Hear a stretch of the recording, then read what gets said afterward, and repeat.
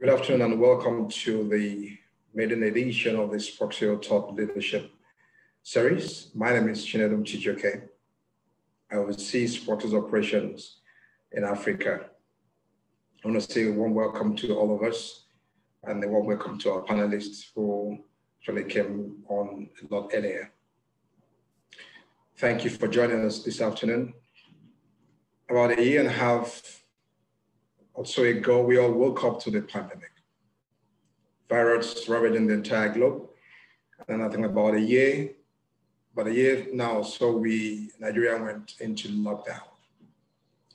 The way we do business completely changed, the way we live completely changed. And of course, for the consumer, there are lots of implications, far-reaching implications around personal finance, health, and food security. And for companies in the FMCG space, because this webinar is focused on FMCG space around consumer connections and engagement. For companies in this space, and of course, other companies who provide services to the consumers, there are lots of questions around how to carry on with business. With the changing dynamics of the consumer behavior and the increase in the cost of doing business, cost of production, you know, the questions around how do you continue to engage the consumer profitably. Uh, now all of us have our eyes glued on some device. Many companies never knew they could move 80% or more of their operations, you know, remote, start doing it remotely. Um, the way we do things have been changing. Of course, many things have moved online. So the way we engage consumers um, within the within the changes that we've seen in the environment um, have also also changed. And so there's a need for us or for companies to begin to think, how do we continue to engage these consumers profitably, provide services, and uh, deal with all the other challenges that the pandemic have presented to individuals and to companies. And as a company, we thought that um, we'll put together a a webinar of this nature to be able to start dealing with some of these issues and engage industry experts to air their views. So this is the maiden edition of this Sproxil Thought Leadership Series, question on FMCG. So it means that before the end of the year, there will be other webinars coming your way. So look out for them. Um, once again, you're welcome. We've put together experts, seasoned executives, who, if you put together their experience together, probably looking somewhere between 80 to 100 years of experience. Um, we have in the house today in the FMCG space to take a very take a different look or take different, you know, um, take different different stabs at, at, at, consumer connections and you know consumer engagement in the FMCG space. And we have, you know, Dr. Ekachi on the, on board, we have Mr. Oludare Kafara, Mr. Lanre Adisa, Mr. Abiodun Ajiborode, the whole are here at very great personal sacrifice um, to just to make sure that this webinar is a success and let them share their own experience, having been in the FMCG space for, for quite some time. These are seasoned top executives with vast experience in FMCG space. So once again, you're welcome. It's my pleasure to work with all of us, and I hope that you enjoy the rest of the day. And to help us anchor the the next session where we'll be taking presentations from our panelists and then the Q&A is our head of sales, Ola Oluwa Ayesa. He will take it up from here. Ola Oluwa, over to you. All right, thank you very much, Chinedum, and good day, everyone, from wherever you're joining across the globe.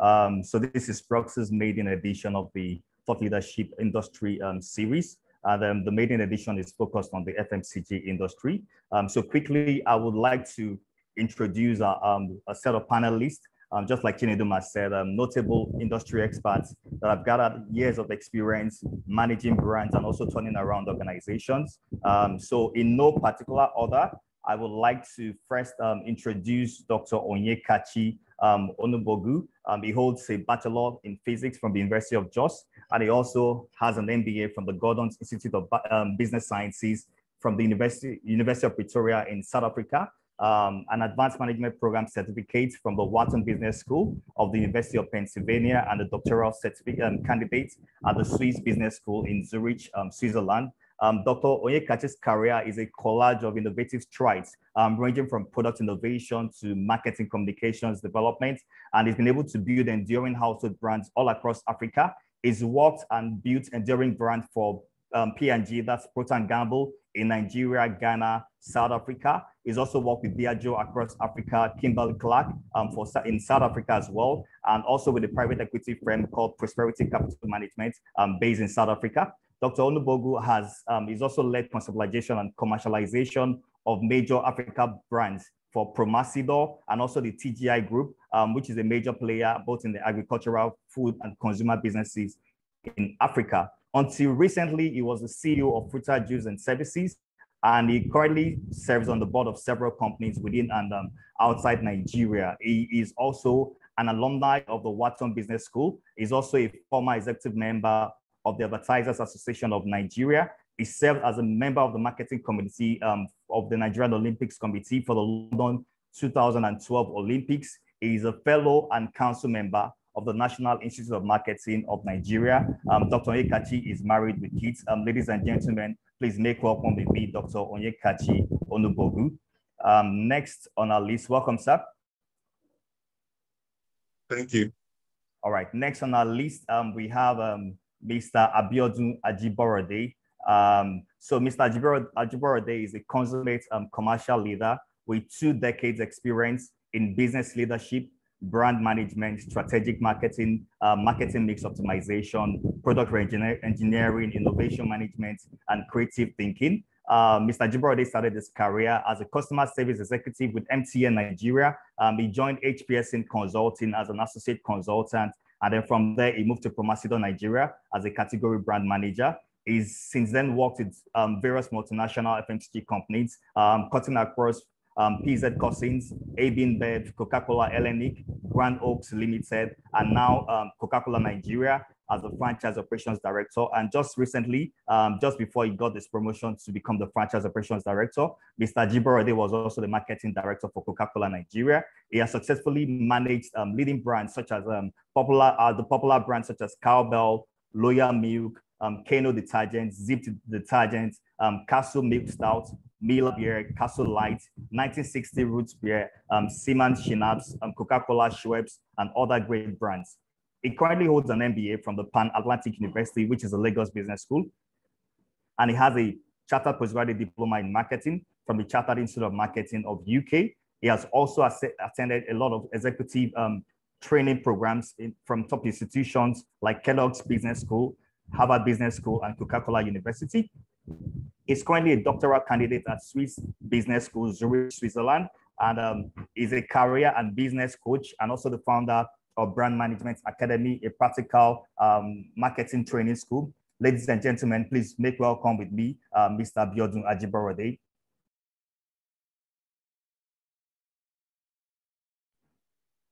Okay, so um, we also have um, Mr. Larry Adisa, popularly known as um, LA, is the founder and the CCO of Noah's Ark Nigeria.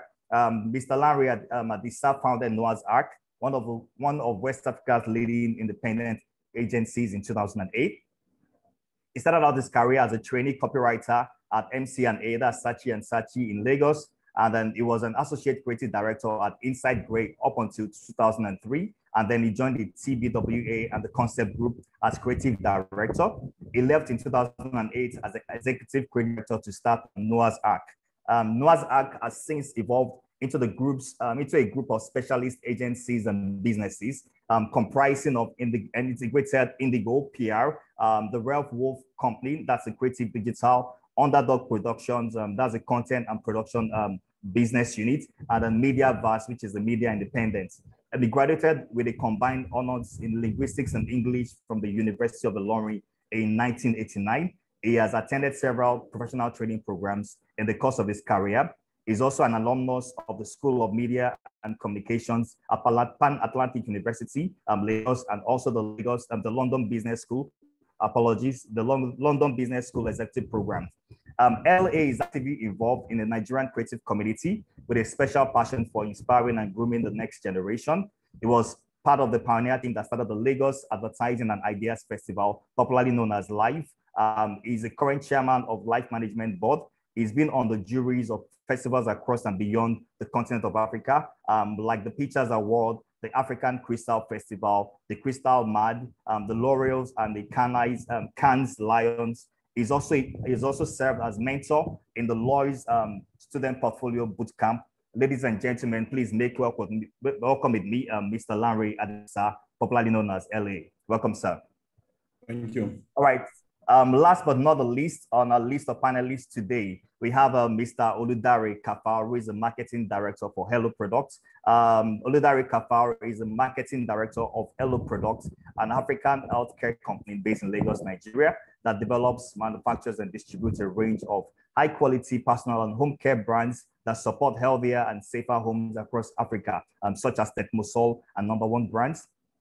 That is an experienced marketing professional who consistently delivers high quality and result focused marketing initiatives with in depth knowledge of consumer needs and trends, talented at creating and executing acquisition and adoption campaigns. With over 16 years of brand management experience, Dare has held um, head of marketing roles at various organizations, including Econet Nigeria, that's a Kwese TV, NTA Star TV Network, and MultiChoice Nigeria, where he worked as marketing manager, GoTV for four years. As a GoTV marketing manager, Dare ran the Go campaign marketing launching, launching the service across the length and breadth of Nigeria. He has, he also has under his belt the Go Gaga campaign, um, GoTV's most successful campaign, which, which entrenched the brand in the homes and hearts of Nigerians. While serving as marketing director at NTA Star TV Network, Dare drove the successful launch of the Star Times Yoruba channel, which has become the third um, top performing channel on Star Times platform. Ladies and gentlemen, again, please make welcome with me, Mr. Oludare Kafaro. Welcome, sir. Um, so briefly, before we go into um, the panel discussion, we'd like to take um, a 30 seconds commercial break. Um, Joanne, are you ready for me?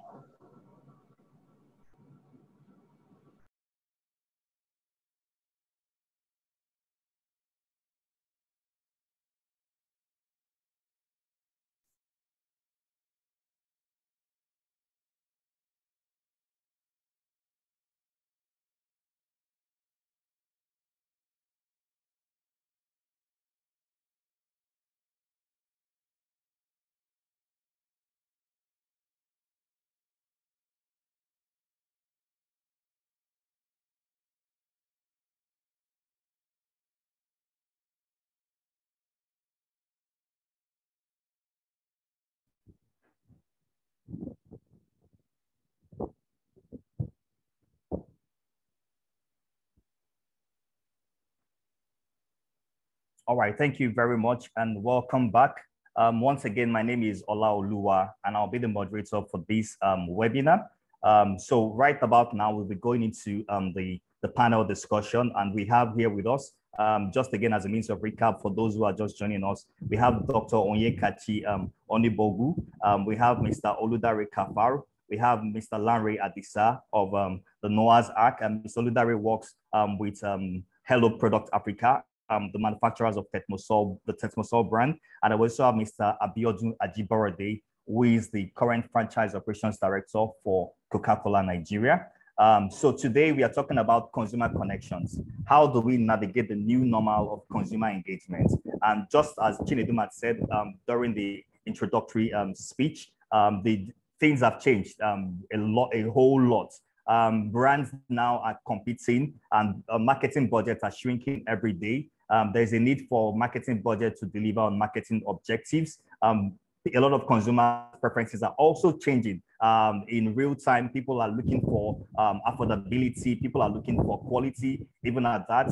And then there's a lot of competition. So how can brands um, continue to connect with consumers at every touch point? And we also understand um, that consumer connection cannot happen um, without first understanding what consumer connection is about, and then how does how would brands stay visible, and then what insights are driving um, these um, changing customer preferences and how should brands um, position themselves um, for all of the changes that are happening. Um, so quickly, I will start with Dr. Onyekachi. You have about um, 10 to 15 minutes um, to talk to us about the fundamentals of consumer connection, especially in the FMCG industry. Um, everybody would know what consumer connections are generally, um, but from an expert point of view, um, what would you say are the most important things that um, brands should think about um, in terms of co connecting with consumers in the FMCG industry? you have the floor, sir. Thank you very much. Okay. Thank you very much. Um, again, thank you for the panelists. Um, interesting when I when I'm called on to speak and I see my guys and my friends on this panel on panels like this. So Larry, uh, I, I greet. Um, Yodu, um, I greet. Um, Dara, I greet, and thank you very much for having me on this for this Prox Hilton for having me on this um, webinar. I think the you raised the point, and I wanted to start with the point you raised around um, the markets are changing, your consumers are changing. So the question is, oh, you said something about, oh, we want to get the best out of our budgets. And I, and I think actually that's the historical way people thought about what we do. I, I think the question is, how do I become a more integral part of the consumer's life? And you talk about connections, it's talk about relevance to the consumers in its present reality. And if you can answer that question, then consumers become um, more connected to your brand, but more importantly, also they reward you because they feel you're an integral part of why they exist. And so in times like this, I think the challenge isn't about what you do with your budget. Budgets are shrinking, no doubt about it. Um, companies are struggling. Um, and one of the things people run to once there are any challenges often is, okay, look, if we don't have money, where do we cut? And I've spoken in for our people say the first thing you cut is your marketing spend. Next thing you cut is your PR spend. And we think you just do that because you think, okay, I save money. I think at the end of the day, um, brands that will survive uncertainty, brands that will survive the challenges we have today are brands that continue to remain relevant with the consumers and connect with the consumers throughout this difficulty. So the first thing is that you, you ask the fundamental question, so how do I connect in a difficult time? how do I connect with consumers? Consumers are, uh, you think you know consumers. But the first thing I'll say, and that points to the importance of research, is you need to understand who your consumers are, first of all.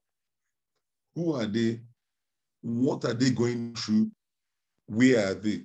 What are their current expectations from your brands and um, your organization, as case may be? 20 years ago, consumers expected very little from you. Um, Larry would have said when he started his career, you put anything on ad, put it on nine o'clock news or the ad break between seven o'clock, and everybody watched one focus. You watch your NTA from four Sesame Street, so you don't, you know, watch Sesame Street till 4:30 or 5. And between that seven and nine, you had where all the ads were. Um, then when local stations came up, seven o'clock, they had seven o'clock local news in your local NTA station, then nine o'clock national news. And immediately you did that they demanded less. Consumers were told what you wanted, what you want to tell them. And they had one choice to accept it or do without it because they couldn't really do without it. Options were not there. Now, after the 80s and early 90s and 20s, consumers started asking a bit more. Consumers wanted a platform for interaction to check that the brands understood who they were and where their realities were. And in order to connect, you need to ensure that, look, you met consumers at every touch point. So it wasn't one TV station, it was meet the consumers on TV. And when I say TV, multiple, multiple TV stations. Move meet consumers in activations in store before they made their purchase decisions because they had options. Meet consumers electronically because in terms of how they consume information now, um, you can do it digitally, you can do it on their smartphones, you can do it in store. Then more than that, give consumers a platform to give you feedback. That's what we consumers want now to say, okay, look, you're telling me X, Y, Z happens. Well, truth is, this is what I know. Explain to me why I should believe you. I'll give you a good, a real-time example that happened um, two days ago. So I, I met this consumer, this lady, and she says to me, oh, I'm, and this is not even consumer goods, this is medical. She says to me, oh, my doctor says by this drug for um, high BP. And I said to her, that's fine. The first thing I did, and I'm not a pharmacist, was to take the drug and go Google and find out what does the drug do? How does it react? And I did that. And I came back to and said, well, you know, from what I read, this drug is good, but it's it's they have it has a high chance of giving you um, liver problems in future if you take it consistently for a long time. Long time. You should go and ask your doctor that you should take this. And she went back to her and said, I'm not going to take this drug because of X, Y, Z. What did the doctor say? Oh, okay, fine. I understand. And changed it to something else. The point is, the gone are the days when consumers were told what you wanted to tell them. It doesn't matter whether in the consumer goods space or in the in the um, like I said, medical space, when you go and tell them take this and they had no choice. Consumers are more demanding today from brands, from organizations, from governments, and they want their expectations to be met. And if you cannot meet that expectation, they will move to something else. So the question boils down to how do you communicate in the consumer goods space? The first point is about understanding. And I dare say the biggest problem we have in the consumer goods business is that we think our consumers remain static, but our desires to grow our revenues and profits is what keeps growing, evolves. The same way you want to grow year on year for your brands, grow on year to equity scores, grow year on year on your profitability. That is the same way the consumers want to grow year on year the great value they get from your brands. Consumers are demanding value, and value isn't cheap. Value is two things getting better products at cheaper prices. So consumers are not demanding give me cheap products. They're demanding give me the best product in the market at the cheapest price available. And it's a continual, consistent demand. It means that that means brands must understand consumers and evolve along those lines. That a consumer every day wants the best for his the best bang for his buck, like you say. So the first thing is to understand. To understand consumers, you must research. You must spend time with them. You must get on the field. You cannot understand consumers because you've been 20 something years in the business and say, I understand what they want. I mean, Larry is here. I've worked with Biodo before. Um, the, me of 20 years ago, I'm a different me of today. My needs have changed, my wants have changed. So the only way you will understand where your consumer is is continual, constant consumer research to understand their changing needs, their changing habits, their changing desires, their changing demands, and where they are from an environmental standpoint. So the first thing to do is to spend that. If you don't do that, then the premise on which you're going to build any consumer connection points or any brands, um, any any plans that help you connect with them will fail, because you'll be taking headache for cancer without knowing that you're not treating the problem. So it's about understanding your consumers from everything. I, I met keepers from environmentally, the consumer himself, his changing needs, his changing demands. You need to understand it and where he is as a person. And when you understand that fact, the next one is okay, do my brands or do my product solutions meet the gap? Because understand this.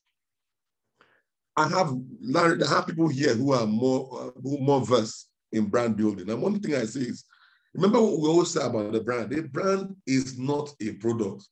A brand is a product promise. It is saying you have a problem, I will meet that need. I, you have a problem, so this is the problem. I will bring together to meet that need so that together we can grow. The problem is start understanding the problem. The other way to correct is okay, how do, do, does my product or my product solution or my service offering meet the identified product needs or gaps? It is fundamentally important. If they do not does not meet that need or the, then, then don't waste your time. Do not think that I will develop a product that must be forced or panel beaten to meet a need that doesn't exist. Oftentimes we develop, we innovate, we say we've done it as a company, we've done our bit, and we expect that, look, because we put in hard work to develop a brand, or if in Larry's case, the communication, you know, we, we've done it, so it must work. The consumer owes you nothing. You owe the consumer everything. In this point in time, you know why we say, truly, in the consumer goods space, the consumer is truly king. And I mean that with all humility. The consumer, if he says today, I want water, tomorrow I want flavored water, you give him flavor. Next tomorrow, I don't want water again, I want pandiriam. Your job, if you're going to succeed in the short, medium, and long term, is to provide solutions that meet a consumer need. You talk about connection, you have you understand the problem, what his challenges are, and then you provide that solution that meets his need. That is the second point. The third point is then I say, okay, so if I know the problem, I know the man's problems, my brands or services, and I say brand or product services, can meet the need. So where do I meet this guy or this consumer? What is his lifestyle, his lifestyle um, preferences or choices that allow me say, you know what? I can meet him at this point and this point. Where is he most vulnerable to listen to my communication or messaging? Where is he most vulnerable? And I use that word because there are times, look, if you're if you're selling beer, um, like Ajibore was selling before, and you're coming to, to appeal, appeal to Larry in a mosque or me in a church to come and drink beer, I think it's a bit, I'm not vulnerable at that point in time to make that decision. So, okay, I want to buy a bottle of beer. But if you meet me at the time I'm relaxing with my friends and I've had a very tiring, rough day, and I'm sitting down and saying, look, I really don't want to think, I really need to relax. I probably am more vulnerable to say, okay, you know what? I'll listen to what this man is saying, give me beer, or a soft drink. So the point remains that if you understand the problem, you believe that your brand can fix that problem. The third point in driving that consumer connection is to say to yourselves, where do I meet this consumer? And it's it's where and how. How isn't always social media. And I, and I, and I think in the marketing space, the, the, the fallback mantra, now anything you talk, go social media. You know, the question I tell people is that the drive for social media um, in the US, for instance, has been there for much longer than us. But traditional and conventional media, you know, media or communication platforms still are big in the US or in the Western world. So there is a balance. And the channels you use oftentimes is dependent on even the brand or product you're selling. Not everything can be advertised on TV. Not everything can be advertised on social media. Not everything can be advertised in store. In understanding your brand and understanding your consumers, you need to understand what is the best avenue my brand can pivot or follow to meet that need. It is fundamental. So I know the problem. I know my brands. I know, I think about where's the best to connect with this guy. And then how will my brand fit in these connection points? So you might have five or six connection points that you can meet the consumers. But the way my, the nature of my brand means that I will explain on leverage to and drive that connection. That's the point. The other point in the consumer goods space is that look, the dynamism of consumers is very important. You know, I when I started my career about 26, 27 years ago, we would do a five-year strategic plan. And everybody did it. You do a brand plan today and do a five-year strategic plan. And, and oftentimes, you know, you just, you know, you this, this, this strategic plan seem to work in five years. I dare say today, no brand leader or business can tell you with setting hand on heart that I know what will happen in Nigeria or in the US in the next 12 months, 12, 12 months. Anybody who says that I think is bullshitting you.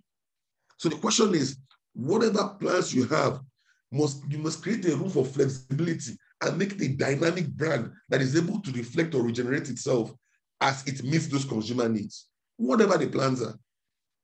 Any plan that cannot be changed in the consumer goods space in today's world will fail. The last point I'm going to make, and I'm going to, before I close this, how do you differentiate or remain different in the categories you in the consumer goods space? And it's an interesting thing. It's an interesting thing. And one thing I learned, and I learned this a couple of, about a year and a half ago, that the biggest way to differentiate oftentimes is not your product. Actually, it's interesting. It's oftentimes your the way you manage the logistics gap or the distribution gap between the product production and the consumer consumer. If you own that space, oftentimes you can dictate what happens at both ends. And it's interesting because marketing in the consumer goods space today has evolved much more than traditional marketing. When you talk of even agencies today, when you approach an agency, nobody's telling you about developing advertisements. They're looking at it from a 360 standpoint that says, at the end of the day, what can I do to get to these guys? And in fact, own that value chain. And brands that have succeeded, brands that succeeded in the long term owned that space between production and the consumers. I'll end with giving one example. And I, I get, I think I just thought about it now because we have somebody from Coca-Cola in the panel. When I grew up, when I was growing up, all of us, anybody who is here over 40, unless it's younger boys here, everybody who is over 40 knew that to get a drink for your party, you had bottles of Coke, empty uh, bottles and the wooden crates. So every day when you want to buy drinks, you carry your wooden crate and bottle and put that in front of your house. And these big Coca-Cola trucks will drive around and come and take the empty crates and replace it. What that meant was that if you did not have the empty crates with their bottles, if those bottles and empty crates were not in your home, no other person will come in and sell any drink to you because literally you couldn't buy. So in our grown-up years, it was Coca-Cola, then Pepsi came in a bit. But I always remember in our house, they'll say, my mom, my mom will say, go to the store. How many crates of Coke do we have? That's empty crates, empties do we have? That's what you're going to buy. So in owning that space that look, the only the barrier of entry for any other person was bottle and crate. If you didn't have it, you won't get in any consumer's house. It doesn't matter how good your brand was. If they didn't buy those empties, you wouldn't get in anywhere. And in my growing up years, I can tell you from all my birthdays till maybe I was 15, 20. If you don't have crate, that's the end. So we, we didn't, it didn't even give me a chance to consider another brand. They own that space. So the trucks will come in, are big trucks, will carry your wooden crate and replace. If your bottle broke, you'll be upset. You go and tell them, can I replace the bottle? Because the crate is not complete. There are 20 bottles instead of 24. They will sell four bottles to you, put it in, and then you buy the drinks. They owned it. So even if a new brand came in, they would not succeed. What happened? They moved to plastic bottles and create, remove the entire barrier of entry to, to, to everybody. Now I can wake up today and make a soft drink because you know all I need to go is the PET, blow molding machine, blow the bottle, fill and go. And that's an interesting case study on how you own a value chain and determine what happens, drive consumer connection directly. What, you didn't need to do any TV ad, you didn't do any TV ad, you didn't need to do anything. All you need to do was make sure that guy had his crate in his house. Once that you own the empty crate space in his house, you own his consumption habits. And so these points, I think, help you understand that to connect with consumers is a lot more difficult than it used to be. It was a lot easier 20, 25 years ago. Today it is difficult because we, we want more.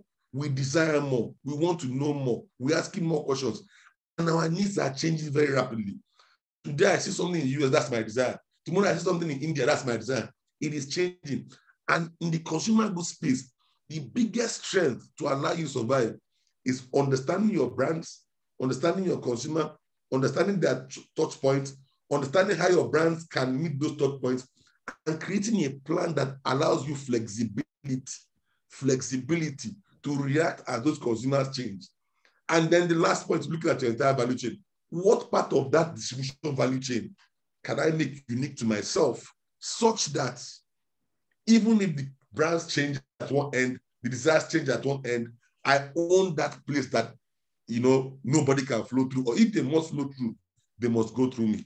Um, thank you very much. Thank you very much, Dr. Kachi. Um, I think that was very, very um, a very brilliant one.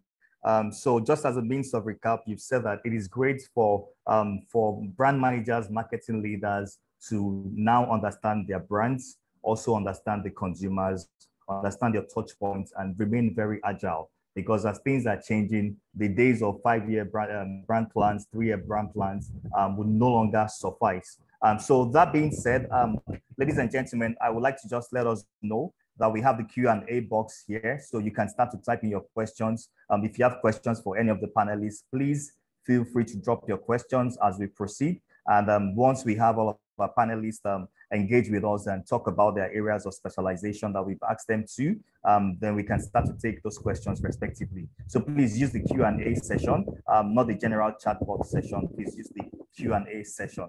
Thank you very much, Dr. Kachi. Um, my next question will go to LA. That's Mr. Lanre Adisa. Um, Mr. Kachi, Dr. Kachi has said a lot around um, understanding the consumer, doing a lot of research. Where is the consumer at at every point in time? And he said that there must be multiple touch points. You can't just say because my consumers are online, I can only focus on, on digital. I need to check every other point where I can find the consumers for me to be able to engage with them. Um, so the other question we, we are bringing to you, um, LA, is around consumer insights. We know the preferences are changing. But can you please touch around what insights? I know you sit on, on the creative board um, for Noah's Ark and you manage the entire business, um, but we know that there is no communication plan that will go out either for any brand um, that would not first sit on an insight. So what insights are we seeing, excuse me, in the last, um, I would say 18 months since COVID hit up till date? So what insights are driving these changes that we're seeing now? Thank you very much, sir.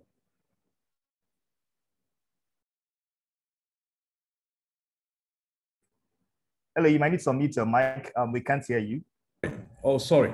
Excuse me. Okay. Yeah. So again, thank you very much uh, for having me, and it's good to reconnect with uh, people on this panel. Uh, my uh, good friend uh, Kachi, um, good to be here, and as usual, very interesting um, uh, presentation.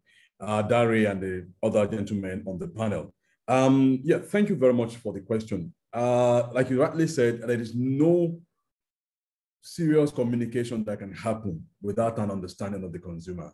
Uh, it's not so much about just this COVID uh, uh, uh, period where we found ourselves, but even before now, every brand, every serious brand that had made any impact, it all came from how well we understand the consumers. So uh, as, a, as a business, as any serious marketing person, advertising person, um, it's, it's going back to what Einstein said if you had an hour for him to save his life, I would probably spend the first 15 minutes trying to understand, you know, the nature of the problem that he was dealing with.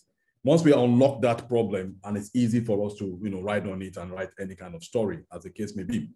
Um, and, and more so where we are now, because now we are in a situation where consumers uh, have a whole lot of an array of platforms, you know, um, for, for you to connect with them and where they get what. As a matter of fact, when you're not, if you're not careful, they often ahead of you in terms of um, the fact that now we have a rise in user-generated content, uh, where people are creating their own stuff and making things happen.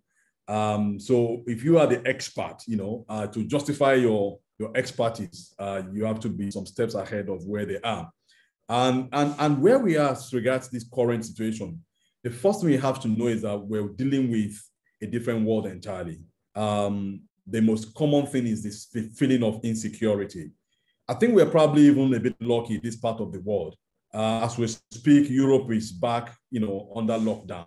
America is staring a third, you know, lockdown, a third wave, you know, in the face, despite all the advances in uh, vaccination and uh, then all their efforts to vaccinate more people. Um, so there is a feeling of insecurity first and foremost, and so that's where we start from. So it means that when we communicate to them as well, we don't want to aggravate the situation. We don't want to add to their problem. If anything, you want to think about what's the best way to actually bring things down and make it a bit more human uh, in terms of storytelling and all that. And I'll give an example, uh, not so much for the fact that we did it.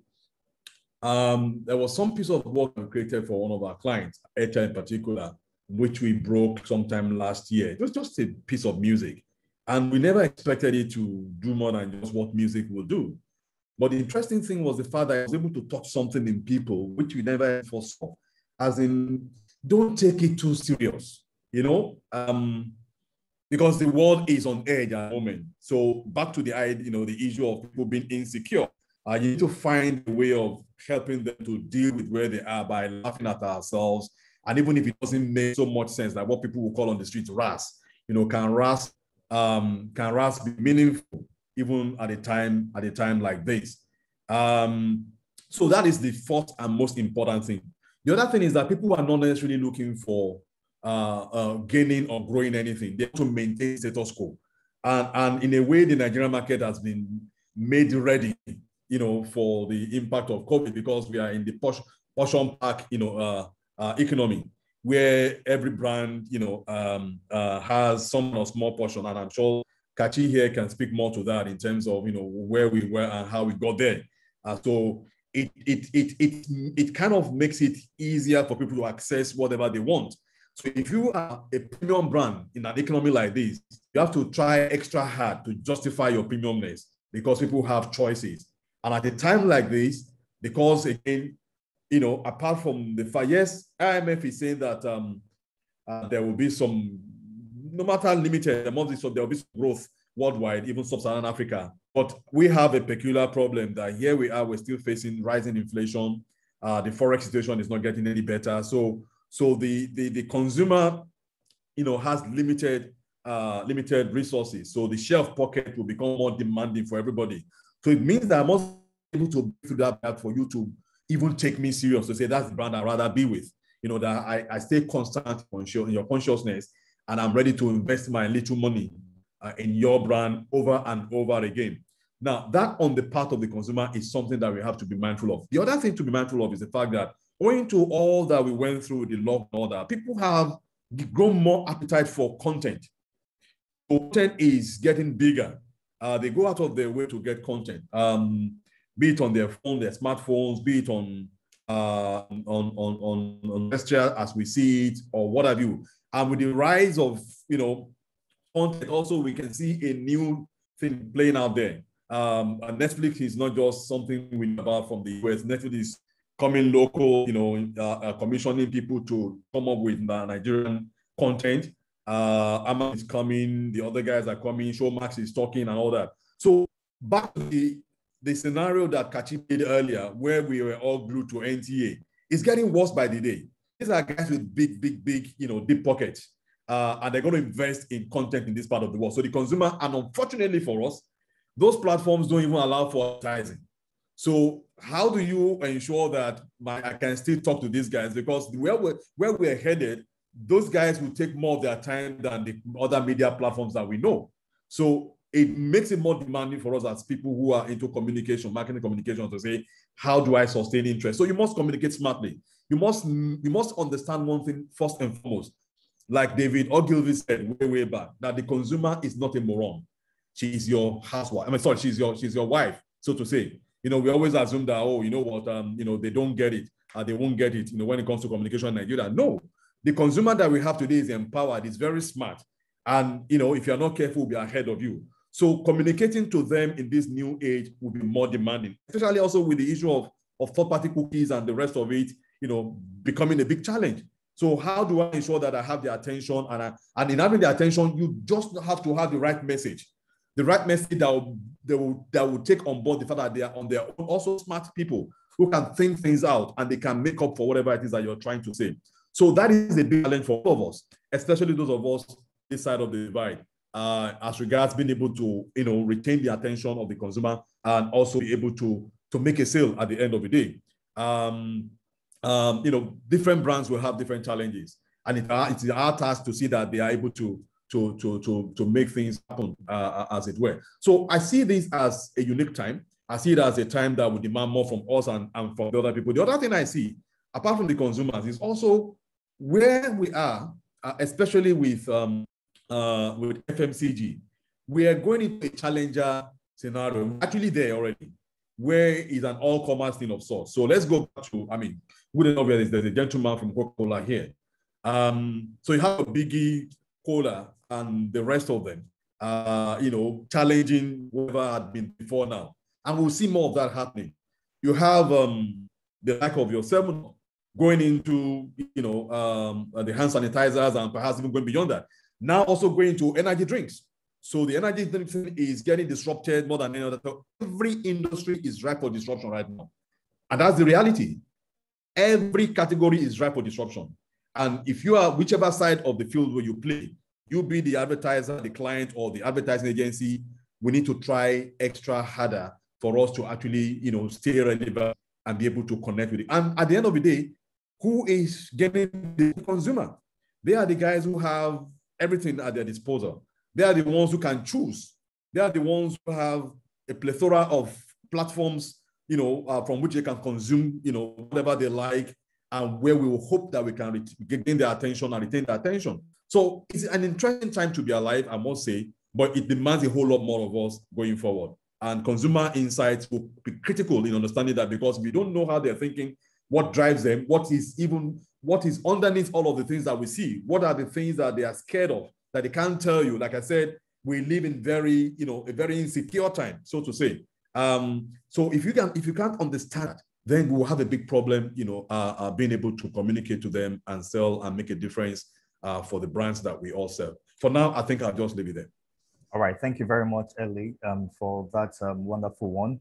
So once again, we are talking about consumer connections in the FMCG um, industry, navigating the new normal of consumer engagement. And then we've had Dr. Yekachi talk about the um, fundamentals of consumer connection.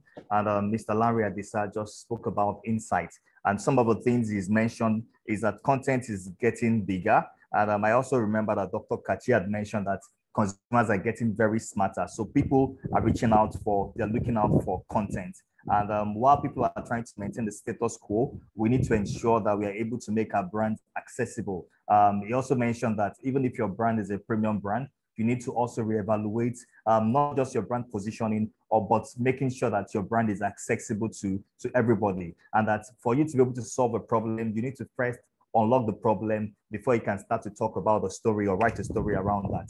Um, you mentioned that user-generated content is getting um, is getting very prominent um, now, so we need to be able to think more and never think that the consumer is an, is, is a moron. Um, it says that um, the consumer is not a moron. She is your housewife. Um, so we're taking that out today. Um, so next, um, we would need to, um, so like I said earlier, please drop your questions in the um, question and answer um, um, box. Um, Dr. Kachi had answered the question, but we'll still come back to you, um, giving it the verbal thoughts um, as against just um, giving a, um, a, um, a um, documented response. Um, so we will move to Mr. Um, Oludare Kafar. We know that visibility is also very important when you're trying to um, connect to consumers. So what are the ways we can engage and also ensure that the brands stay visible? Mr. Oludare Kafar um, at the Hello Products Africa. Can you hear me?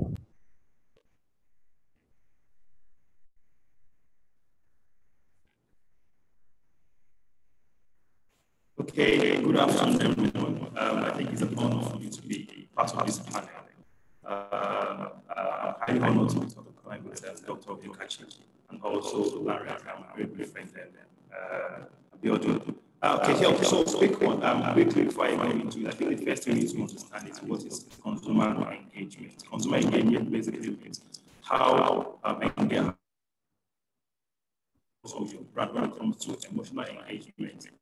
Yeah, there are also the physical engagement and also intellectual engagement with brand. And then I think the first thing to understand when it comes to consumer engagement is, uh, like, like, like Dr. Yokati mentioned, consumer connection how who are these consumers? Where are they? Need to know where they are, uh, what what motivates them, uh, and how to talk to them.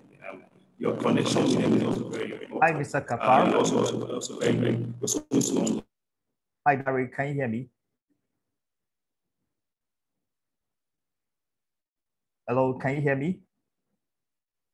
Um, it looks like the audio is bad. I guess that's your internet connectivity. Okay, so if you can hear me, um, if it's possible, could you just maybe um, disconnect and reconnect again? Or please check your internet connectivity so that we can have the best of your session as well. Um, so while we do that, um, Mr. Biodun Ajiborode, we might need to come to you now, um, talking about consumer engagement from um, a trade promotion and consumer promotion point of view how do we engage, what engagement drivers, or how can consumer and trade promotion serve as engagement drivers um, for consumer connection? Um, Coach Beyond already, please, if you can hear me, um, you need to unmute yourself and also um, turn on your camera, please, if that's possible.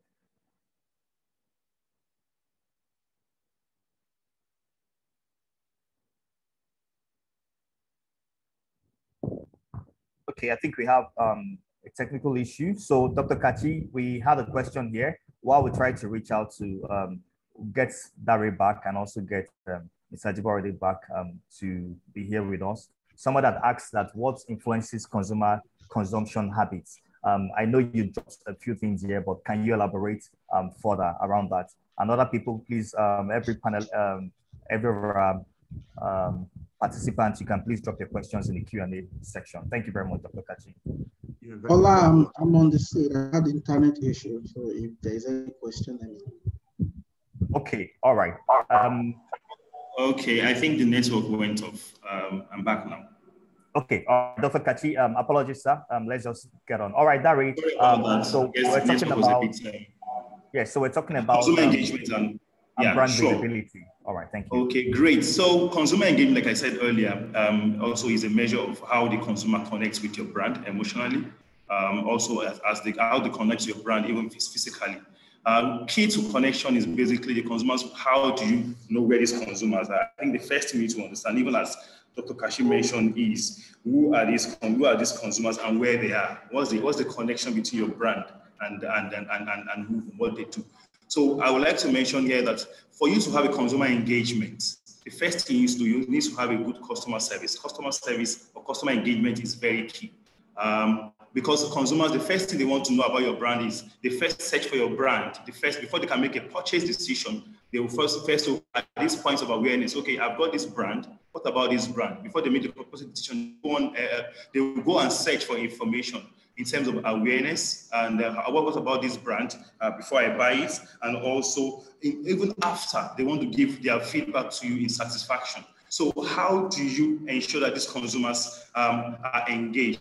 For me, I think the first thing for us is if you're going to engage a consumer, the first thing you have to look at is what are the different, what are their pain points or what are their passion points? Uh, for example, uh, you said a brand that um, is quite, um, uh, the consumers, is, is, is, speaks to consumers as to um, a, a, a, trend, a trendy brand or a lifestyle brand. Uh, for example, over the weekend, we, there was this campaign that was held uh, to meet with gamers. Consumers are a bit more dynamic now. Uh, they are dynamic. What they go for, they go for content that, um, um, that suits their lifestyle. Um, if, for example, for a, for a brand that you are targeting the millennials, millennials are into a lot of things now. They are into user generated content. They are into gaming. They are also into so many things. So how do you meet them at this passion point? Um, I, I, can remember, for example, lately over the weekend, we, there was a campaign that was held um, to meet with gamers. Um, I think one of the challenge we have, some small uh, brands, are, brands are winning in terms of awareness. Uh, people, consumers because they are a bit dynamic, they are not going for the old brand. Um, look at the example we gave as to um, when we're younger, if it's not NTA, you, can, you cannot access away, you cannot access content or, or you can't access even, even an advert. But consumers now consume their adverts on the go. They can search for adverts on their phones. They can search for content on their phones. And also involve a lot of gaming. So what used to be the norm before are no, longer the norm. Consumers are moving to content that are now on immobile. So, for example, and one of the things they do, they do a lot of gaming. Um, the, the, the pandemic we had uh, that, that broke out last year has kept people, so in order to, for them to keep their sanity and also to be active, they are involved in some other activities like gaming. So a lot, you see some consumers playing games uh, while they are home with their colleagues, with their friends in the other homes, if not physically. So they engage on, the, on their phone playing games. So how do you meet them while they are doing those uh, playing doing their activities? You can take it there by having in-app um, activation um, while you, you engage with them there, or you can even uh, take it from online to offline. Um, I will say, for example, there was this campaign that was run just recently where we, uh, we tied it into an activation for a Mortal Kombat game. I know for some of us that are quite uh, young, we play Mortal Kombat when we were quite young. And what that plays this game is that the younger ones. Uh, there was this premiere of Mortal Kombat games, a film at the cinema. You go on the offline to go and activate them. You take it from being offline and then take it online. So first and foremost, there is a physical activation in the cinema where they engage with the brand. The brand is visible. They see that this is sponsored by the brand and they associate themselves with the brand. After which you take it from the off online, you take it offline, and then they continue the conversation. Um, for one other thing I also mentioned about con consumer engagement is consumer engagement doesn't just stop at the point of when they are looking for information. Consumers, when they engage with your uh, customers, when they engage with your products, and they want to give feedback they want a real-time feedback. They don't have time to call um, your call center. They don't have time to send you an email. They don't have time and wait for your response. They want an uh, we want a real-time response from you. So it's very important also you have those metrics in place for them to speak to them. And I think brands are basically uh, begun, are beginning to understand this and they are rolling out some um, activities or rolling out some um, initiative to speak to that. You can see a lot of a lot of uh, consumers, uh, brands are now adopting emailers to their, to their customers. They are also developing apps that encourage their customers to download. Those apps is something they can actually learn about the cost, their, their brands or learn about, about their product services and then a real-time response to what if you have a question, they'll give you a real-time response. And also if you want a feedback, I'll give you feedback on that. And interestingly for us now, because consumers also are very are now very dynamic, one and also with the COVID-19 um, pandemic we have, consumers no longer want to go and sit down in your office and then wait to speak to you. So social media is becoming very, very important for us to engage. So customers, um, um, businesses or brands are now leveraging on their social media platform in order to engage their consumers. So social media platforms, be it owned paid, or even the ones that they, they earn, they use these platforms to, to promote their to promote their brand and also to engage their brand. The whole essence of having a consumer engagement session or consumer engage, customer engagement is to drive loyalty. If your customers are not engaged with you, um, definitely there, there, there won't be loyalty to your brand because a, a, highly engaged customer or a highly engaged consumer, they will promote you more, they will buy you more, and they have a tendency even to increase their loyalty to, you. So at the first, of, for any new, for any brand, at the, at the time of um, consideration or seeking awareness, the first thing they want, a consumer want to know, I want to know about this brand. For example, um, I want to know about Netflix. What about Netflix? Okay, Netflix gives this um, about the brand. So what's the first thing I want to know? I want to know about, okay, let me give it a try. Okay, I watch, I see what Netflix has. They have backlog of a library of content, be it local content or foreign content. And the next thing I'll, okay, let me give it a try. You want to convert them from being a prospect, um, a consumer from being a prospect, and you want them from being a prospect, you want the consumer able to be a client. When a business like then they are giving you their money, the money have exchanged hands, and then they are the next thing you want to graduate them from being a client to be an advocate. Advocate now means that oh okay, I watch Netflix, I like Netflix. Netflix gives me what I want. I'll tell my friends, have you seen this movie on Netflix? Have you done this on Netflix? Come on board, and then from there they now become a partner. So the whole essence of having consumer engagement is to move your customers from being um, a, a, a, from being a prospect to being your advocate and even your partner. So that's very important. And when it comes to consumer engagement, it's very important to know that there are three, three key things that measures um, uh, consumer engagement. One, in terms of your messaging, you have to be empathic. emphatic. When, when, when you go to what to mean by empathy, you see yourself in the put your, your brand in the consumer's shoes. Let the consumer see themselves in you. For example, I say a lifestyle, uh, uh, um, a brand, a brand like say, for example, our, our in, in, the company, we have a brand that is um, for, uh, that is cool, a cool brand.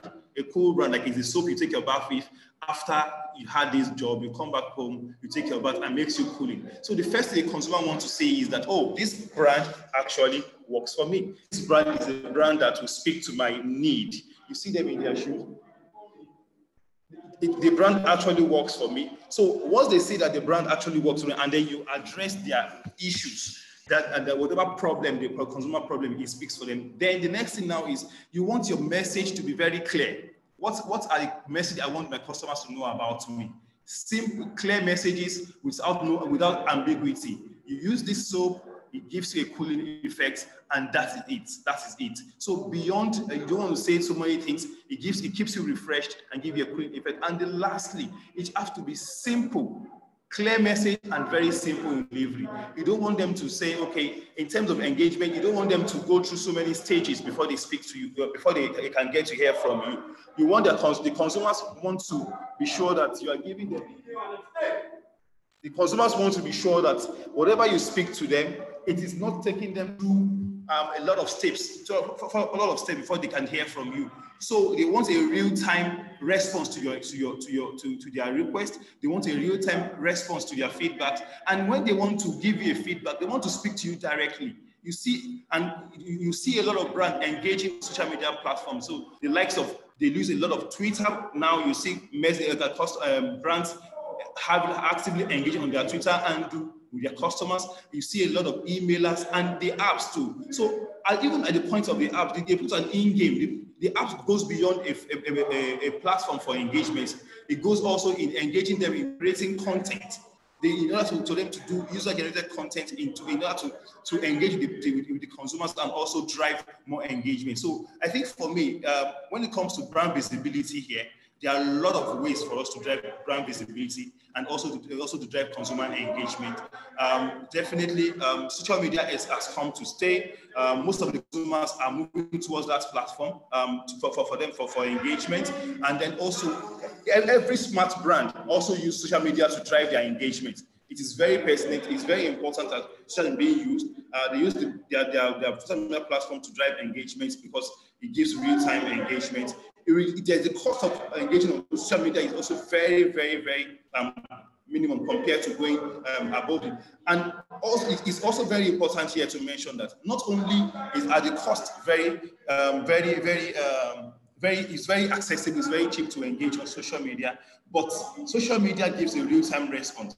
But in a, in a country like Nigeria, where the, the consumers, we also have the traditional consumers that are not that social media savvy. I think it's important, like Dr. Kachi mentioned, to have a balance between social media engagement and also uh, um, online or offline engagement. So, and smarter brands are moving from having not only online engagement, but taking activities online, activities online, and taking it offline. So, while you're starting a campaign off, off offline, they move it down to online engagement. So, um, I think that's what we're currently doing at the moment, and I think it's exciting. So I, I, I, want to leave it there for now.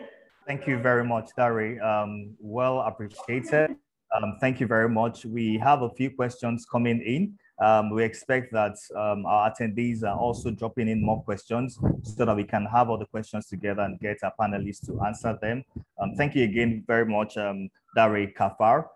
Again, this is Consumer Connections, navigating the new normal of consumer engagement We've listened to Dr. Kachi um, and also Lanre Adisa, the CEO of um, Noah's Ark. And we just listened to Dare Kafar, who is the um, the head marketing director at um, Hello Products, talking about brand visibility and, uh, and ways to ensure that brands are connecting um, with consumers. He's also mentioned some things around the zero moment of truth, where consumers don't have to wait till they um, interact with your brand. They go online, they do their research and then they decide. And that you must also keep channels of communication open. You need to also look for ways where are the consumers like dr kachi had said um, you don't there are multiple points to consumer engagement now. Look for every geography where your consumers are. So if they're online find ways to engage with them. If they're offline, also find ways to engage with them. And um, Daria has also reiterated that and he's also been able to um, give us a few points around that as well. So lastly, we are coming to Mr. Ajibor Abiodun um, to talk to us around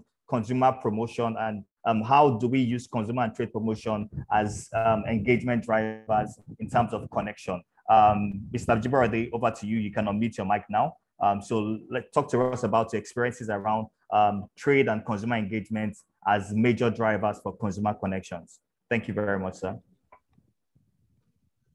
All right, thanks. Um, Ola, um, and I, I, think it's a privilege standing on the same platform with my with my bosses. Um, Dr. Kachi is, used to be my boss and is still my boss today. And Larry is a veteran in the industry.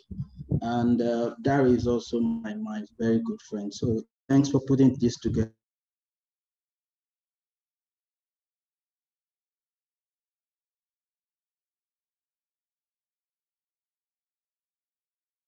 We can leverage consumer and trade promotion to, you know, engender and um, engage consumers,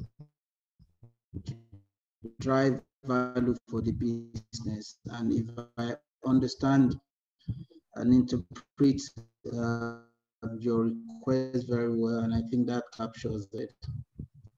But when we about consumer spaces, you have the actual user of the product, and you have those who actually buy the product. So um, from that lens, you, you begin to look at these two guys, set of guys, what are they looking for? The first thing, which is which is also to corroborate what um, Larry said and uh, what Dr. Kachi said, is about these guys are looking for value.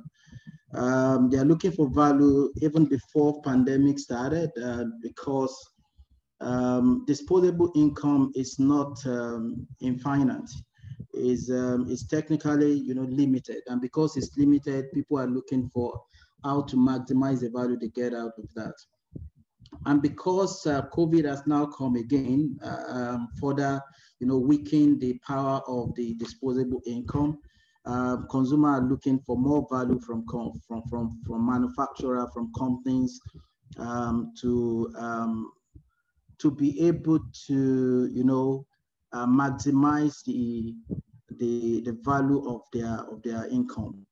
So based on this, um, well, I will speak to the consumer lens, then I will come into the trade leg, which is also a very significant part of the success of any business. Um, And when we talk about the trade, we'll look at it from two lenses. Um, the distributor, which are the, and the wholesaler, which are the one that drives the primary sales, and the retailers, which is um, the end end um, end game for every business, where the second sales actually takes place, and that is where consumer actually um, see. And more importantly, we should also begin to look at, um, you know, trade partner beyond just the physical and mortar, mortar um, you know, buildings and all of that, we begin to look at e-commerce as part of the trade partners in this context. So, um, what are consumer looking for, and why is consumer consumer you know promotions very important to engage them? Like I said, because they're looking for value, and because they, they, their purchasing power has reduced because of the, of the shrinking income, um, they require, you know, companies or brands that give value uh, in exchange for their income. And because that environment and that competitive set is becoming very tense, and like um, Dr. Kachi was giving the example of Coca-Cola and even Larry was corroborating on, on on on how the the the you know carbonated soft drink category has been you know bastardized in the last few years and it will keep happening. That's the truth of the matter because that environment is already democratized. So because it's democratized anybody can pop in get a NAFDAC, a NAFDAC number and you start producing something. And if you put a value to it and you you you resonate with consumer you will definitely make make sales out of it. And because that is happening on a daily basis, it then becomes very important to say beyond the communication, how do I then begin to entice consumers and give them more value for their income? And that is the place of promotions, both at the consumer leg and at the trade leg. So at the consumer leg, you begin to uh, think about different promotions. And promotion doesn't necessarily means that you have to part with money. And that is one thing that I want people to take out of this. Um, consumers are looking for experience and they begin to see the value they get from the brand from the total experience. And I carefully say that um, one of the things that I've discovered in the last few years of working is that the pricing of the product is different, is a total different thing from the cost of that product to the consumer. And because those things are very different, it is important for you as a company to begin to think beyond just the pricing think holistically about what is the cost of this item, of this brand to the consumer. Um, you can be at the right price. If, if you're not available at the right place per time, uh, then the cost of getting you becomes uh, more, more than the price that you've put on the product. And because of those factors, it is important that the value of promotion is not only attached to when you begin to say buy one, get one free. That is the easier way to go. Um, engaging consumer through promotions are things around, you know, an augmented reality on your packaging that begins to give them some level of comfort.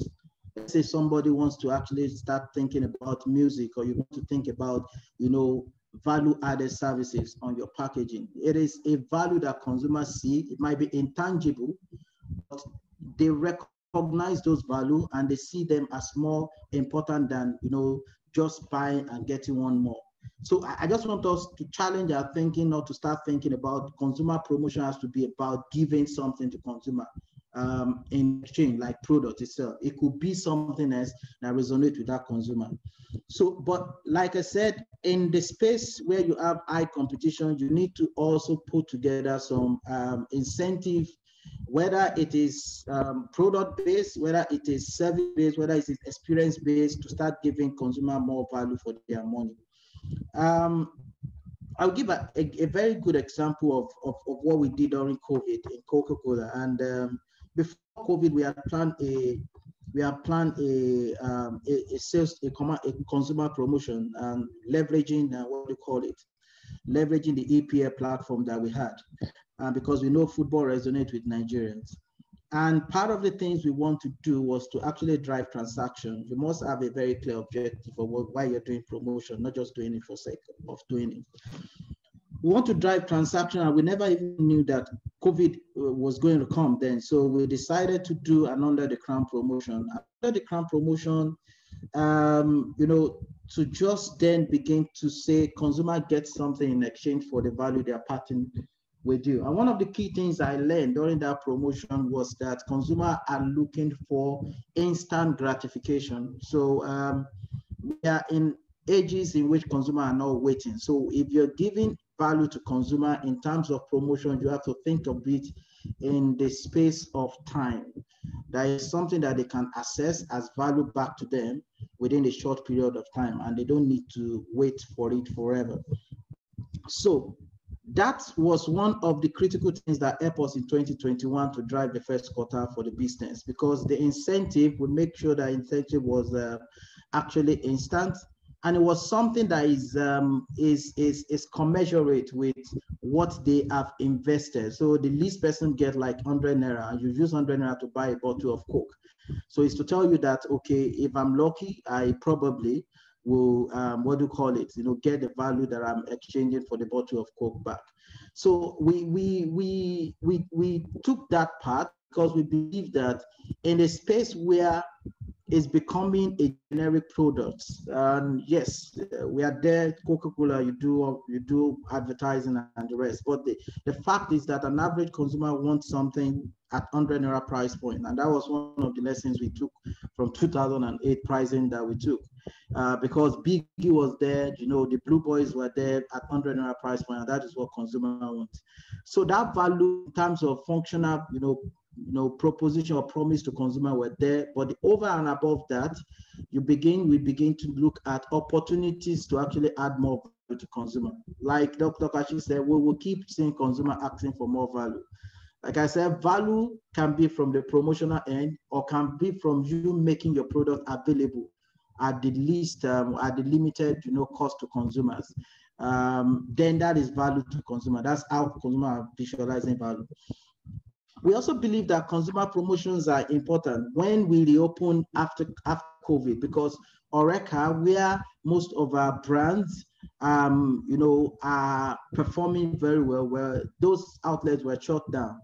And you know, coming back to life, we need to give incentive to drive um, footfall into those into those outlets. So we have to develop both consumer promotions and both you know shoppers promotion if i have to put it that way in those outlets. And that that was one of the things that we used to support the trade partners um, during uh, post-covid um, era.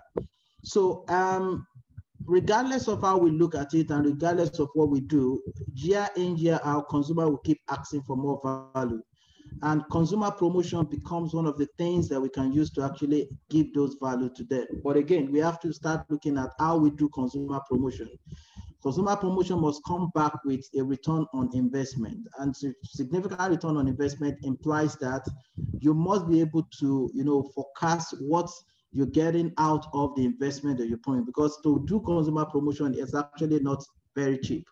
Um, then you should be able to leverage very key passion point um, so that at the end of the day, um, you're giving to consumer and you're also resonating with them at the point where they actually want you to resonate with them. On the trade partners and the consumer and the customer point of view, um, I think Nigeria has come to a point in which you can literally not do anything without doing, you know, discounting at that level um, because some some organization or brands, they really do not have any other thing than to do discounts. And if you say you're a big brand, you want to play a game of, uh, of your branding or marketing alone, you probably will suffer at the point of, of purchase. And that is why it is important that we consider distributors, wholesalers who drive primary sales for us and retailers to put them under loyalty schemes so I, I always look for, you know, attempt to do loyalty with them rather than doing, you know, a tactical promotion uh, with them where they are going to do for a period of time and shut down. But if you put them on an, an incentive schemes that is um, a long time, then you're able to lock their investment into your brand for a period of time. Because what are these guys looking for? Basically, they're looking for margins and profitability. And, and you know, it is trade discount and loyalty that, you know, that they, they're looking at, loyalty portion that they're looking for. And if you don't give them at that point in time, they will switch. They are, they are not loyal to anybody. um, if, the, if the margins are lower, you must have equity to support your margin. My, if your equity is strong enough to drive, um, what you call it, your, your consumer offtake, then they will be able to actually part with your uh, lower margin. But if you don't have a strong equity to actually support consumer offtake and you are offering something low to competition, they will move to competition regardless of who you say you are. We are Coca-Cola is a classic example of what happened in 2018. Um, Bigi went in and they took chunk of the market share.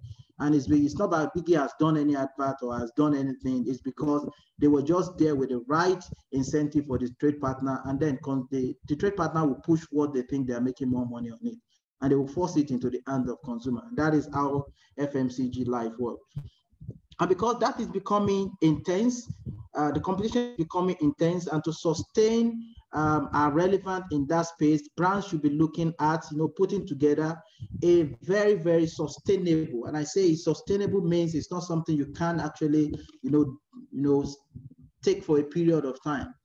Um, again, one of the smart way to also look at it is that the items that we are giving are those items that can help you further drive um, your product eh, within that same space. For example, you can exchange whatsoever their incentives with, with, with more products, which they will eventually sell, which helps you actually drive more sales. These are, these are some of the things that we can actually put into there um, in putting our plans together for the trade partners. But to be honest, you can't do anything without having incentive package for these guys.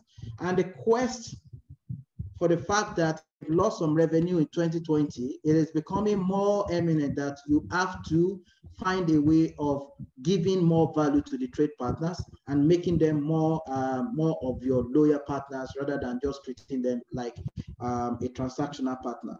And I think if you if we look at this approaches to how we engage consumers from a promotion standpoint, standpoint, we will be able to win as brands in the market. And I think, um, I think, um, you know, the lessons are there for people to learn how, you know, great brands goofed, how small brands have been able to take take on um, big big brands by just doing some of these things that I've mentioned. Thanks, everyone. Thank you very much, sir, um, Mr. Ajiborode, for you've also added practicality using Coca-Cola as a case study. Um, before we go into our question and answers, I can see a hand raised. Um, that should be um, Messi. Messi, I, I hope I believe you have a question. Is it possible you drop your question in the Q&A um, box um, while we, we take a very short commercial break? And then once we are back, we'll start to take the questions. I also see a question um, from somebody that was dropped in the in the chat box, which I will um, read out shortly as well um, from Abiodun Oshikoya. Um, so, um, Joanne, over to you. Let's take a 30 minutes commercial break and we'll back to take the questions and answers. Thank you very much. 30 seconds.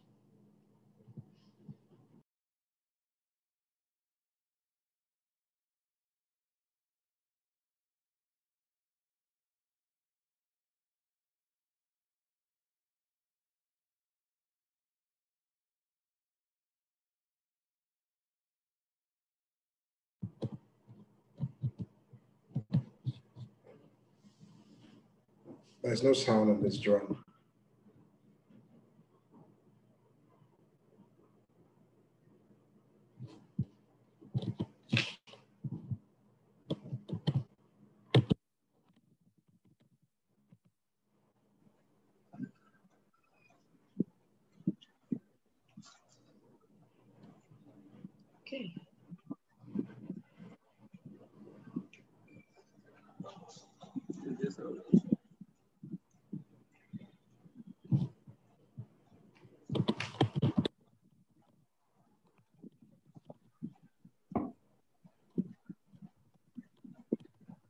Okay, I think we have um,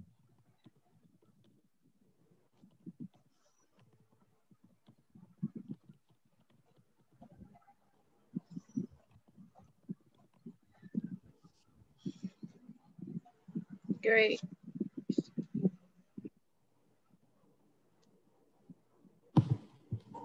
All right, thank you. We didn't get the audio for that, um, but thank you for, for sharing we have a couple of questions and I'll start with the ones in the chat room. Um, we have two questions here from Abisodu Oshikoya. She says, good afternoon. Thanks so much um, for the chat so far. It's been insightful. I have, however, I have the below questions. So for Dr. Onyekachi, she says, I work in the drinks industry. Currently, the industry is challenged with product availability, which is key to brand success. As it says now, production team cannot meet the demand. Okay, yes, production team cannot meet the demand. How then would branding team connect or communicate with its consumers, considering any communication will spike demand, which production cannot upscale to presently? And consumer connection and communication is key. So she's saying that even if you push any form of communication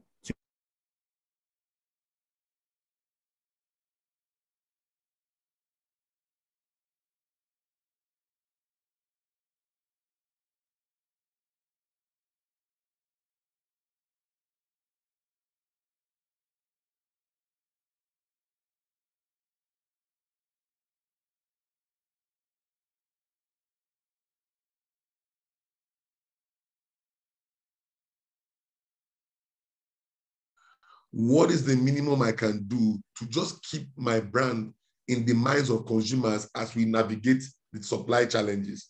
And that's the key thing. It is never uh, the, the easiest solution is cut out everything. We don't have we don't have product. Cut out everything. The point is when you cut out everything and somebody occupies the mind of that consumer, maybe by the time you come back, you realize that some of those guys who couldn't get your products have shifted. So the challenge for me will be, look, if there's no product, you cannot be just doing advertising, spending millions of naira because there's no product. But you also don't go away. The question you ask yourself as a great marketing or communications person, what can I do to remain relevant in the mind of the consumer? So that when my products come back, you know, it's not like I disappeared and came back.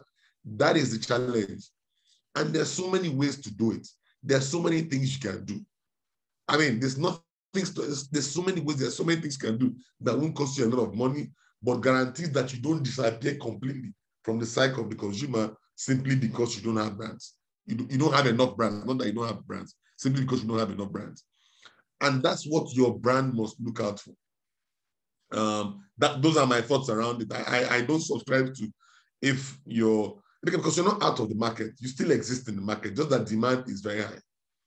That's what you're saying. And we know why. We know that, look, one day the ports will be eased off. We know that one day um, product supply will decrease quickly. We know that one day you'll be able to buy enough raw material to come in. And if you know that, you can't just, you know, they, they say you prepare for war when there's peace. You don't buy your machines for war when you're fighting the war. We tend to marketing prepare for war when we're fighting the war. That's when we fight the war. You own the minds of consumers before you have the product. So I would do differently. Think about what are the minimum thing, what minimum thing can I do as a brand or communications owner to ensure that I do not dis completely disappear from the minds of the consumer since the product still exists? And if we do that, then there's a chance that when we get our acts together fully from a supply standpoint, um, we will succeed or win. All right, thank you very much, Dr. Kachi. I don't know if Mr. Jiborode wants to take a stab at this question. Um, I know this is also your um, product segment, so you might want to also give some form of um, advice on this? Well, unfortunately, when my boss talk, I don't speak again. That was what I learned. okay, so all right. Thank you very much, Dr. Kachi. Um, so we have a question for LA here, um, also from Abisodun um, Oshikoya. She says, is there a framework for understanding consumers better? Um, because we know that you need to understand consumers first before you can start to connect with them. So is there any framework you want to um, prefer or suggest to, to everybody um, because I believe that this is a learning platform for everyone. Well, I mean, thank you. I mean, there are no hard and fast rules. I think the important thing is that any organization uh, should always, you know, uh, have things in place to have feedback from consumers more than anything else, and able to feed that into whatever it is that they do. Um, there are traditional ways of doing that. You can commission studies. I mean, I mean that you, you, can do the link test even before you do your communication to know this message that I'm about to take out. You know, will it really resonate with the people? Um, and sometimes it's just your gut, you know, feel, so to say, in terms of what you know about the consumer um, and you know what you what you have you know to offer. Uh, but things are even better today. You can also do social listening. I mean, you can you can get you can take a stab in terms of what are people talking about. Um, from what they're talking about, how do those things relate to your line of business and the things that you do? Uh, where you have you know serious concern, I mean, the, the, most important thing to do is that you actually you know go out of your mission studies to know on, to understand better you know how the consumers you know see the issues, see your brand and what matters to them, and and uh, and, and see how that can help you in, in doing what you have to do. But it's not saying that it will always be right all the time. Sometimes you miss it. Sometimes sometimes you actually go there with a particular and you you know you get something else entirely. I'll give an example. Um, we all remember MTN Mamana Boy. Um, the intention the world is getting better. Now we can communicate with one another and all that and all that. It was never intended that there would be anything about any gender being promoted about, about and there were studies. I sat in on those studies. We had um, focus focus groups. We had all sorts of things, and nothing like that ever came up. Um, so when it came out of the woodwork, so to say, it was you know a big surprise. Um, and managed client agency is a different thing entirely. But is that it is okay to always have the the the in place, you know, to listen to consumers. Um, again, you don't want to be held uh, uh, into inaction, you know, out of fear of, you know, what the consumers are all thinking. Because again, there might be danger in there. Uh, when you have um, an overabundance of that, remember what they said about um, about Henry Ford, that um, if he asked the consumer in exactly what they wanted, they won't ask for the, you know, the Model. They'll probably ask him for a different kind of carriage, uh, stronger horses and stuff like that. So it's a balance of sorts. So we want to listen to them we also want to trust a bit of what we know about our industry for us to be able to channel things properly. But I can't say here and there that oh, this is a framework that will have to work for everybody. I think what you need to do is you have to invest in, you know, in, in, in, in consumer research, knowing more about the consumers, knowing more about what they're doing, you know, and seeing how you can feed that into what you do so that can also your own research and development internally.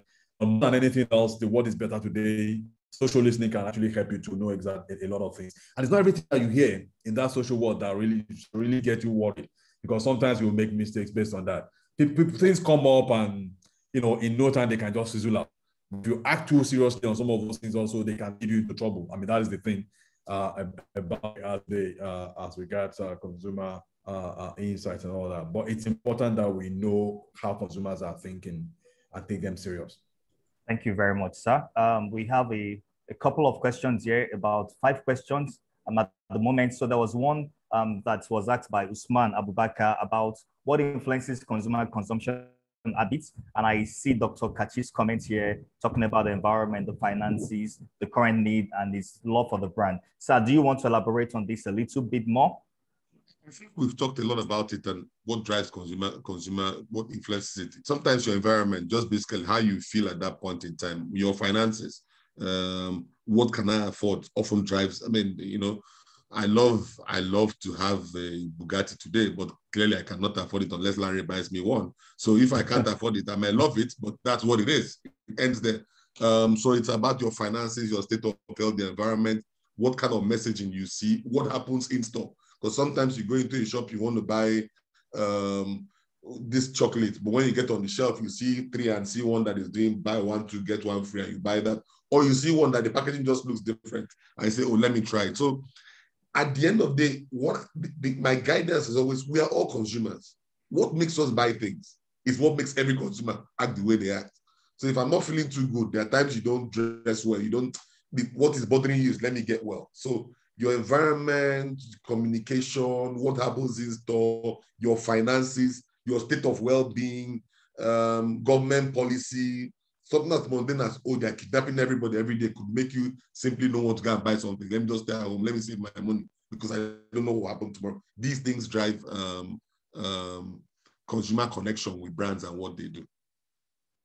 All right, thank you very much, sir. We have um, five more questions here, and I can also see um, Messi's and still raised. Um, so the next question is, how can premium brands continue to retain their consumers in the midst of stiff competition? Mr. Ajiborode, please, you want to take a stab at that question?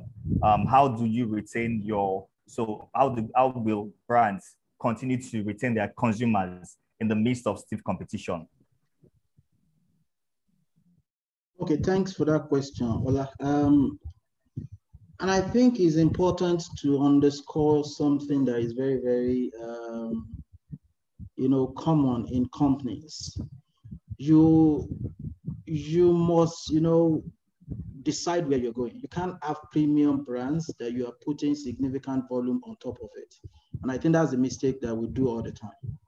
Uh, we make all the time. So um, you have a brand that is premium and uh, the, the, the, category the, the category of people the social economic class that you're targeting cannot really afford the kind of volume you're placing on there and that is where the pressure comes in and people start asking significantly that you need to start extending start selling in where you're not supposed to be selling if it's a premium brand is a focus brand there are people that you're targeting and those people you have to focus on them and don't get derailed and i'll give you a classic example of what is happening on a brand called Schweppes within my portfolio. So Schweppes is our premium portfolio. And when we started, we started having, you know, we started small, we started building it. Then suddenly something happened and there are demands that we need to do millions of millions of cases on it. Then, you know, there were conversations around derailing the brand proposition. And then that is where the pressure comes in and you start seeing some very, very um, um, request that you know we at the end of the day um, erode the equity that you are building for the brand. So for a premium brand to remain relevant, one focus, understand that it's premium and you are building is a journey. It's not it's not a sprint. It's marathon. You build it on a gradual basis. You you are building your equity together. You're building your volume at the same time, but you are very very careful where you tread so that you don't begin to actually erase um, um, the good work that you're doing with your hands. So um, I, I would leave it at that to say be focused, don't be derailed, then keep, continue the premium, you know, um, investment that you're putting behind the brand. And over a period of time, it will begin to play out. And I'll give a classic example. Jameson is the classic example in this market. Jameson started very, very small. Today, they've grown to become one of the fastest growing spirit brand in Nigeria. But when they started, they could, they could hardly, you know, sell 100 cases or thereabout. But they started, they were focused, they were disciplined around it, and they kept doing things that actually take the brands to the next place. So you build awareness, you build, you know, resonance with consumer over a period of time, then you start reaping the volume and uh, over over that period of time. That's where that's what I would say about it. Thank you very much, sir. Um, I would like to direct the next question to Mr. Lanre Adisa. Um, so there's a question here about how do we engage in terms of experiential engagement in the new normal of social distancing. So there are restrictions around um, social gatherings um, and large gatherings. So how should how can brands still um, have experiential engagement with consumers in the face of the new normal, um, bordering around social distancing? Well, thank you very much. I mean, that is um, uh, one big question for the experiential industry in particular. Um, they, were, they were one of the bad hit, you know, um, all of last year and even better part of where we are today. Yes, things are easing up a little bit. So, you know, but even at that, there's a limit to how much of that you can do. Um, so what really hit them most the fact that that industry, you know, um, hadn't taken digital transformation seriously enough. Uh, and I think it's very important for every business today, uh, as much as possible. Yes, you may say that if we look at the composition of the Nigerian population, you know, uh, those of us who are, you know, um, who have access to it might be, you know, smaller in number compared to the general masses, as it were. But even the general masses, you know, over time, you know, things will get easier for you to acquire some of those things going forward. But let's even look at some of us. So I think the most important thing, first and foremost, is how do you in digital transformation? How can I curate experiences, you know, that can work, you know, online and offline? In other words, can I create content that can work online, and can I support that content with stuff, you know, uh, where I can use? I mean, there's a there's a there's a there's um there's a big big big you know uh, uh, surge in logistics business in Nigeria today uh, how can I plug into that, you know, to do what I have to do? How can I use e-commerce to support whatever to do? Uh, and if you can plug into, you know, the, the, the logistics thing and you have enough content online that can engage people, uh, that can take them through certain things and do demos and stop the lack of that. Maybe you can have a semblance of what you used to have, you know, in real in the real world. Um, but more importantly is that now that things are also getting eased, we also need to start looking into how you can scale things down. Um, so the days of big activations and whatever and all those things maybe you know gone for now. But can I scale down experiences? But can I make them quality experiences more than any other thing? Um, and, and because for a country like Nigeria, that is where we are. The fact that there are government regulations that actually you know ease people coming together, those that can the number, but making also so whether I'm seeing it online or I'm seeing it offline, the, the experience must be of high quality so that people can actually you know relate with it and it means something to them and it's relevant to the brand in question more than any other thing. Um, it's going to take a while, but I think the first point, like I raised earlier, for me is digital transformation and how you can actually, you know, uh, get uh, people to plug into, you know, the experiences without necessarily feeling it physically all the time. Because who knows where we will be uh, when the next pandemic comes around? Because scientists are telling us another one may come. Um, but this is good training for the future. Thank you very much, sir. I don't know if Chinedum wants to take a stab. So somebody had asked a question around experiential and also how do you engage with consumers um, when you have shortage in um, maybe stock. Um, do you also want to, I, I think um, you can also take a stab at that, please.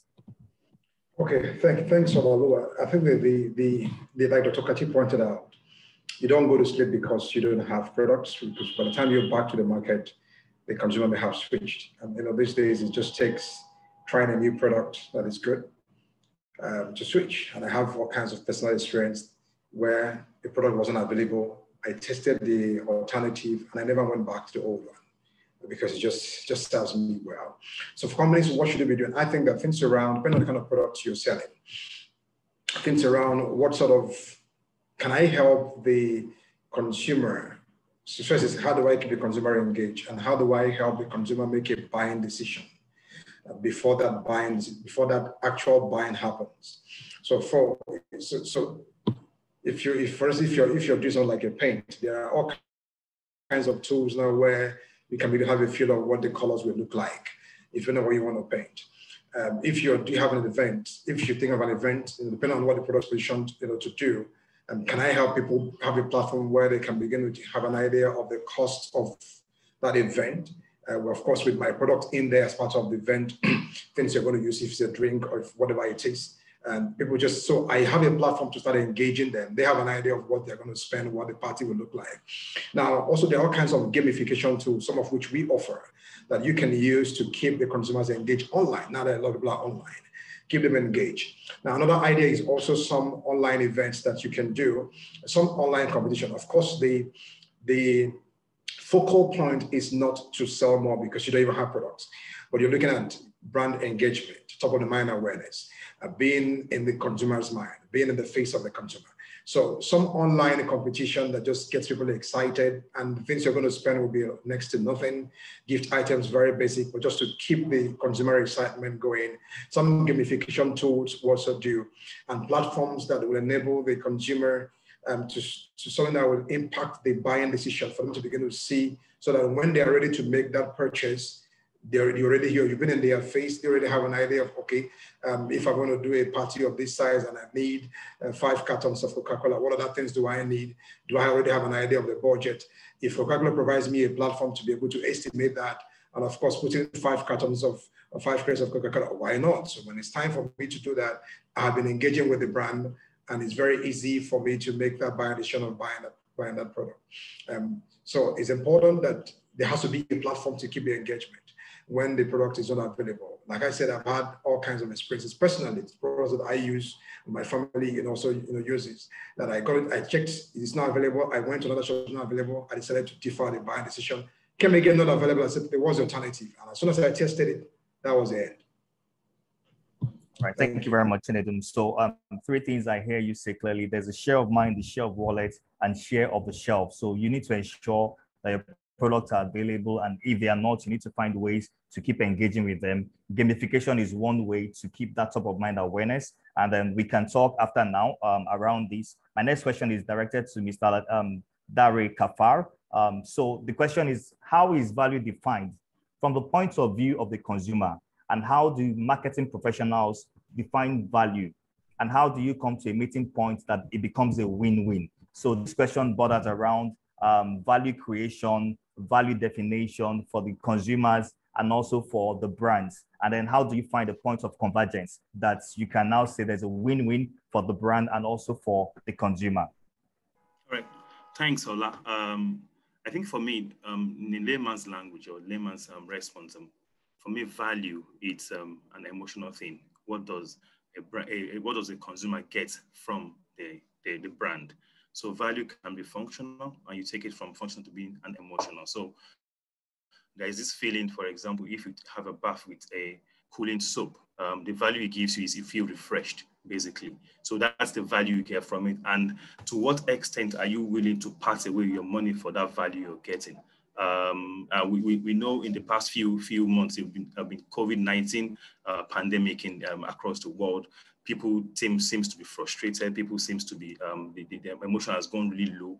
But people, in order to raise their um, their emotions to feel it better, some of some of them probably go um, engage in some activities that increase their um, their emotion, like playing games or playing games. So that's the value you get from the game is to lift your spirits, basically. So you get into gaming, or for example, you go, for example, you you you, you buy a product that's um, um, your your your a product makes you feel better. Um, why some of us buy a, a, a, type of perfume is for us to give us that feeling of confidence. You wear a perfume and it gives you confidence. That's the value you get from that.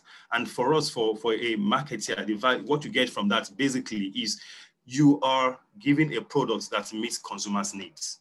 Uh, meeting them at their emotional needs at, at, at, that point, be it functional or emotional, you are meeting them at their needs and they are getting the money for value for whatever they're passing, value for money, whatever they're passing, the amount they're passing for that value, they're getting value for it. So um, is it is it refreshments? Uh, you're, you're uh, like, for example, you quench your test with uh, Coca-Cola. So you're feeling test, you take your Coca-Cola and you feel refreshed, definitely you wear your perfume, you feel confident it's giving you value for that. And what to what extent or what amount of money can you part away for that to get that value? So from the consumer point of view, you are meeting their emotional or functional needs by providing value. And from the from the marketing point of view, is that at that at, at that value you are providing consumers, what what are they willing to part to get the value you're getting them? So at, at that point you are giving there's a win-win in terms of what you're being provided and what is being get is being gotten. So if your customers is satisfied with the value you're providing, you are giving them, they are willing to part away with the value placed on that product or service. And, and, and then for you as, as a marketing uh, personnel or you, for you as a brand, you are getting the required revenue for that value. I think I think I think that's I want to sum it up there. Thank you. Thank you very much. Thank you very much, Dare, for, for that brilliant um, answer. We have one other question here before we take the parting shot from our panelists.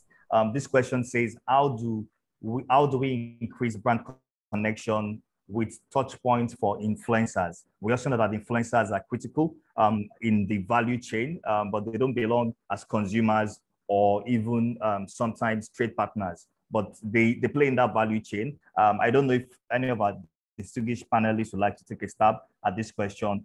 It's saying, how do we increase brand connection with influencers um, for brands? I don't know if any, any, any of our panelists would like to take a stab at that question. Okay, I mean, a quick one for me. Um, uh, it, it's something that uh, I've observed. Um, and the things that when trends come, uh, some to stay. Um, but, but what, what the one thing you don't want to do as the owner of the brand is to lose control. Um, as much as the influencers are there and they play a role in terms of entertaining people, but their primary reason for being is in that degree. It was never in their DNA to say, let me sell for you. Uh, but we've seen an opportunity for them to sell. But in seeing that, in doing that, um, I think the, what I've seen, based on observation, I'm happy I have a lot of people marketing here, uh, is that we're ceding control to the to the influencers in a way. Uh, they're bringing their own brand values. They're bringing what you know what they're all about, and they're replicating from one brand to the other what they start. I'll give an example. You see this. So there's a Broda Shaggi, and Broda Shaggi is here, there, is everywhere, and I can't tell one Broda Shaggi apart from the Broda Shaggi I see in any other communication. As a matter of fact, I get clouded by his personality to the point that I lose the message. So that's what I mean. That there's nothing using them. They have a platform. They have an audience But I think it's important that we don't lose control. And that's what I see going on where we are today. Um, as much as people want to be entertained, and yes, they can be entertained. I mean, that not nobody goes home to say, I want to see your ad, really. Um, you know, we must be smart enough to say, along with whatever is entertaining, there is messaging that is relevant that can actually add to the bottom line for me, because that's why you're putting money behind it. Um, where we are today is that these guys are getting stronger and command more value. And you know, um, as much as yes, the client has the right to do as he or she wishes with the brand, um, we will lose if you don't bring people who are the experts in communication to work with these guys. Uh, as much as they have their own brand, they have their own speak, so that they can be guided. It's about being guided so that you don't lose the investment that you're putting behind these influencers, as it were. So losing control is you know something we need to watch out for. Um, as much as um, the influencers are here, as, as long as we you know operate in this world, they're here with us, and we have to be with them. I mean, that's my take on it, really. Okay. Thank you very um, much. Just give me two seconds on, on what he said. And I think what Larry said is brilliant. And I, I want to make a few points. The first thing is look at all the brands that have been around, around 50, 100 years, the great brands you know. They don't work on with influencers. They're, they're not, you know, you don't remember Coca-Cola and think of any influencer or Pepsi and think of an influencer. Maybe you see Messi now and when it's around sports. You don't think about Pampers and think of an influencer. Neither do you think about, the point is not to lose control it's like a fad now. You see these guys is doing 10 different ads and you run away. But the point is about if the fundamentals of your brands don't connect with the consumers, the influencer won't be. It's short term because you can influence on your brand move, move. By the time you do it three or four times, like Larry says, you be wondering, okay, what is going to be?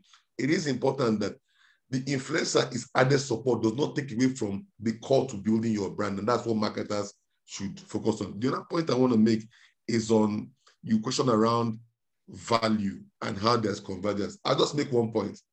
The value, um, the value is driven by what the consumer believes is value, not what you as the person sells. So when you talk of convergence, it's not about, I'm not, the consumer is not there to make you happy. The consumer is king. You need to understand what he believes is value from a product solution standpoint, whether it's emotional or functional, and the value from a, a monetary standpoint, what is willing to pay for it.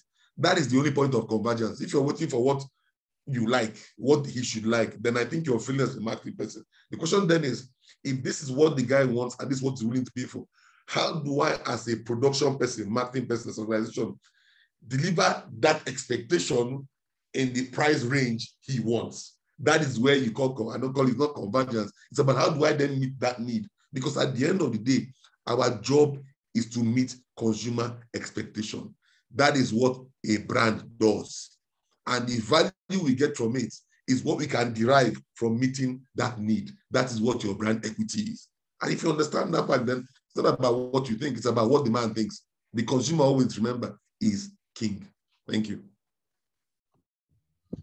Um, Olas, just just a few comment, and Oga, I take uh, I take excuse for this on on influencer, and I think Larry made made a very very valid point on control because these guys are not loyal, and the earlier you understand as marketer, the better. But again, the challenge that I also tell marketer is your job is to begin to build brands that are bigger than these influencers, such that the influence, influencers themselves are the one you know dying to be part of it. And I can tell you for sure, when we were doing Coke, Coke Studio, you have a lot of requests from from artists sending mails to us to say, hey, we want to be part of this journey. So uh, that is that is the job that we need to do as marketer, build equity for your brand, build resonance for your brand amongst your consumers such that you can then begin to command. Uh, you are the one that determine what you want to use influencer for. They are not the one actually flipping back or uh, just as what we are seeing today. Uh, and I'll give you a classic example. I used um, what you call Burna Boy on uh, on on EPL EPL campaign. Before the contract went off, it jumped on Pepsi. So so anything can happen. So these guys are not loyal. The earlier you understand that you need to build a strong brand and not depend on them, the better for for any marketer. Thank you. Thank you very much, Coach. Um, so somebody has a question here saying um, we it looks like we focus more around B2C for the major part of this um, conversation that other strategies businesses should be looking at or brands should be looking at that are B2, B2B focused. Um, so Dr. Kachi, I know you, um, so I'll, I'll push this question to both Dr. Kachi and also to LA. So please take a stab at that and I will take your parting shots so Dr. Kachi, I would hand over to you, and then um, Mr. Larry would also. Thank you. Um, marketing to consumers, and we talked about this because we're talking about fast-moving consumer goods. When you do B2B, you're not really talking to you're talking to a, a, a different kind of consumer. The principles remain the same, but the question is that look, so if you're selling um, to an organization, you need to understand where their pain points are and create solutions that meet those pain points. In, in my experience with B2B businesses, the key drivers will normally be costs when you talk of value and the entire supply value chain, ensuring that look from A to B, it doesn't run out, you don't run out, you know, there's no out of stocks. And how do I drive down the supply chain costs? Most B2B businesses. How do I ensure the products exist at the point in time? How do I ensure it delivers what it said it should do? But how do I ensure that within the value chain, I get the best value out of it? It's a bit different, but again, the principles remain the same. Who is your, your B2B consumer? Who is your business, the business consumer? And if you understand that guy, what are his needs? And how do I ensure that I deliver around those things he or she expects the organization? We spend time on consumer goods because B2C is probably what most people look at from a consumer standpoint. They're individual consumers. And, you know, but from the B2B space, the underlying principles remain the same. If you're supplying chemicals to a chemical company, you need to understand, okay, what do they need? What are their pain points? What are their supply challenges? What is their, what is what does your product do for them? Does it, you know, and in doing that, develop a product package or portfolio that meets that need. You're not going to go on TV to go and talk to them you know, about buying hydroxy peroxide if you don't need it. But it's understanding where do, where do I connect with them? So we talked about connecting on TV and video. Maybe where you connect them is through trade fairs. Maybe where you connect them is through um, um, industry industry groups. Then you have to play in that place. It may be industry meetings, committee of um, soap makers. But you need to understand them where they play, their environment, and then drive your brands to meet that need. So the principles in identifying what their needs are, their gaps are, how you connect them are different. You're not going to be talking to somebody who makes Boeing 747 engines and be putting on Facebook, I have engine parts for Boeing 747. It, it, it doesn't make sense. But if you're going to an aviation show and you're talking about the speed of combustible speed of these engines and the fuel saving efficiency, then you understand where I can connect with them. It's in the aviation show. And so the Thank principles you. don't change. The connection points may differ.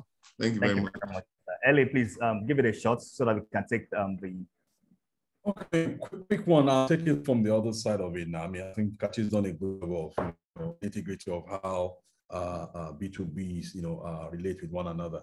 The other thing for me, which is very important where things are, are headed now, is alignment of values. You know, yes, you may not be able to choose who you work with all the time, uh, but you have to, you know, if you communicate something about yourself as a brand, so let's say I'm Coca-Cola, you're here now, uh, this is what I stand for. Um, there are demands on us around the world today in terms of who your partners are as well. Uh, are they doing things that negate what you stand for? Um, it seems to become very relevant, you know, because now it's not about just how big the brand is, but about, about brand behavior. Are these guys, and so that's why constantly in the US, we keep finding cases of Nike or there are sweatshops in Asia or whatever, all those. Those things are important. You know, um, who are my partners? Who are my key partners?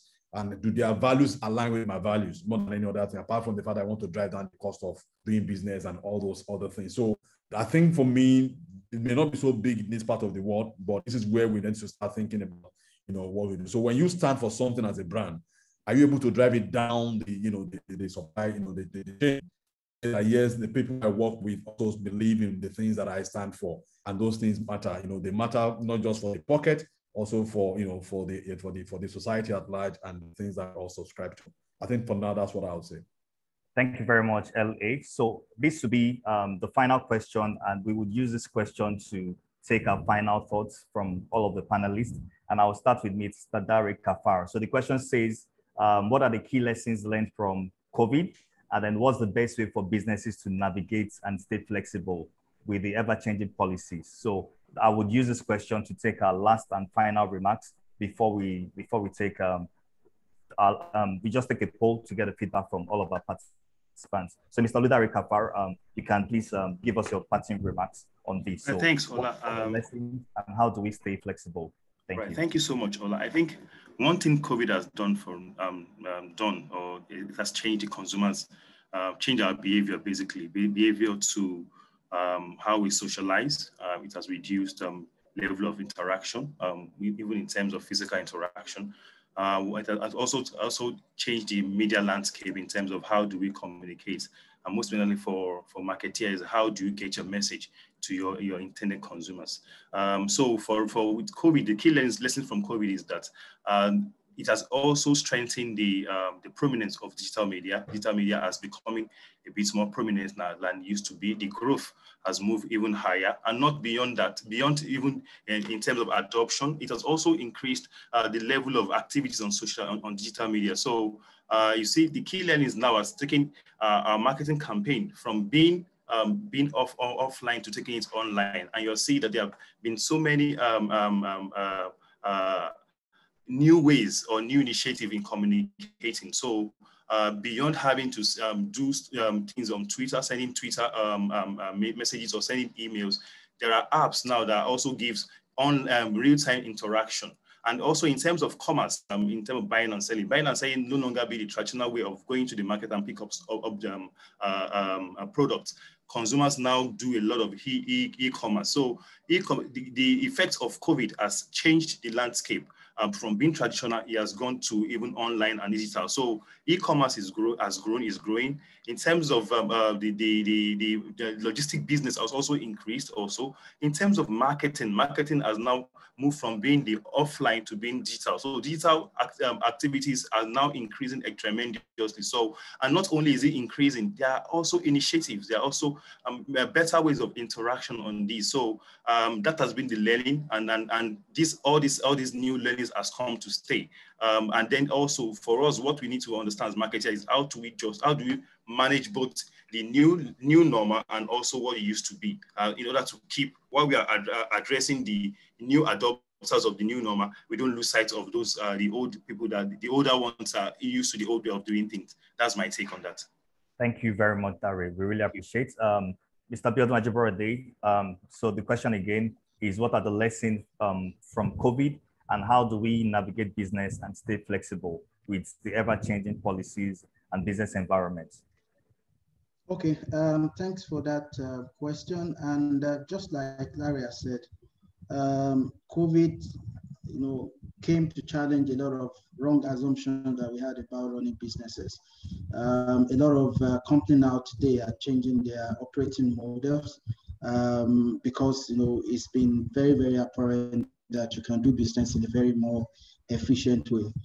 And for marketers, um, I think one thing I will leave with everybody is about, and I think Dr. Kachi mentioned it, is about think about value. Everything you do, think about value that you want to give to consumers. And that is um, the lesson that COVID has actually, you know, taught us that consumers now are more very, very attuned to brands that gives them value than any other. And um, I think the second thing on that is I would challenge marketers, um, those on this line and those that probably will, will, will be hearing this or watching this uh, recording later, to always think about marketing from three ends. One, what is now, which is something that we are doing currently, um, and what is new, and uh, what is next. Those three N are very, very critical because if you think ahead like that, probably you will have been two steps ahead of COVID now that all of us are running to e-commerce, uh, probably you will have set up those those companies that were already on e-commerce were just actually capturing value during this period. And then, you know, we are to, today we are talking about augmented reality, we're talking about you know, virtual reality, we're talking about um, blockchain, we're talking about, you know, um, drone drone delivery. And these are things that are actually springing up that you need to start stepping in as marketer. It doesn't mean that you're going to put ton of your money on it, but you start experimenting so that it doesn't catch you unaware, like what happened during COVID. Those are the lessons and those are the things that I actually want to part with uh, with, with the people on the call. Thanks very much. Thank you very much, uh, Mr. Ajiborode. Um, LA, um, over to you, sir. Okay, um, thank you very much. And uh, yes, a whole lot of lessons from COVID. Uh, and I, I, wouldn't want to repeat what's been said. But more importantly is the fact that uh, we should know that the, uh, the, the, the, pandemic, um, you know, has empowered people a bit more in terms of um, their consciousness of where they are, their environment, and their demands, as it were.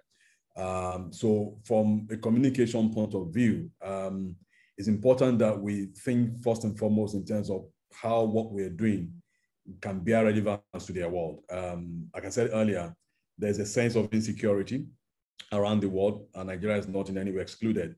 Um, and if that is where, in as a matter of fact, even worse in Nigeria, I understand the, the unemployment rate is about about 30% or thereabout, uh, which is huge by any standard. So coupled with all the other things that we are contending with, um, socio-political issues, which I can't go into all the details. We all know we live with these things. Um, so the consumer today needs to be reassured, even in our, you know, the way we relate with them. Uh, uh, so there is a whole lot of things to be learned that we don't want to add to their pressure. Uh, that's one lesson. And if you're not adding to their pressure and they can see relevance in what you do, and you know, as regards their own lives, as it were, then we might be in a better position to do things better. I mean, I cite an example. The other thing I would like to say before, um, as a parting shot for me, is that uh, I think as a country, generally speaking, uh, and it's a good forum to talk about that, there was a whole lot of knee-jerk, you know, reaction to COVID-19. Uh, there wasn't so much in terms of tangibles of what we can say case studies of I did X, Y, Z from different brands. I think there was a lot about survival more than any other thing. Um, yeah, it might be the state of the economy and all that, but I, when you look at other clients and things, I give an example. I was going through some some agencies real, uh, a brand called Capri Sun, not Capri Sonne that we have here. Um, what the guys did was because there was a big challenge with kids um, water fountains, you know, will be prohibited for now because of COVID-19 in places. Uh, so kids can't take water from water fountains. So what did this do? What they did was to put the, you know, to, to, to create um, uh, pouches of water, you know, instead of their juices in the pouches, and so that kids can still drink water. And even in communicating that to the consumer, it was a case of apologizing to the kids because that's no fun. Kids want to take something sweet. Now they have to take water. So they have to apologize to them firstly, sorry, we're giving you water.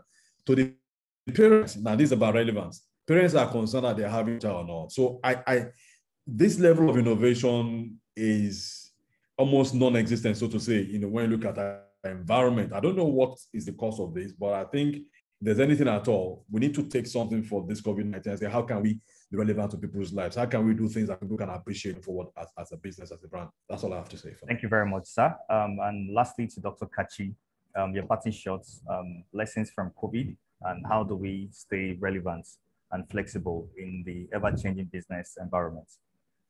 Um, thank you very much. And everybody has, I mean, I, have been taking notes interestingly on what everybody's saying, and there's a lot of learning for me.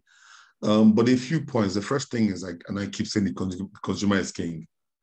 Everything we do and everything we do in COVID must be built to have learned had to be built around how to meet that consumer needs. Be it um, we talk about everybody going into um, deliveries. So, I mean, for the first time, you saw an explosion in mobile deliveries because we couldn't move around. So people started shopping from markets to now it's now a norm. Now everybody, nobody's now, nobody's afraid to put something on a delivery bag to go deliver to you from food and stuff because you're not used to it. You're not used to it. So it was meeting a consumer need. I was one who was very skeptical before that I could ever buy fresh food from somebody who delivered from say man to market.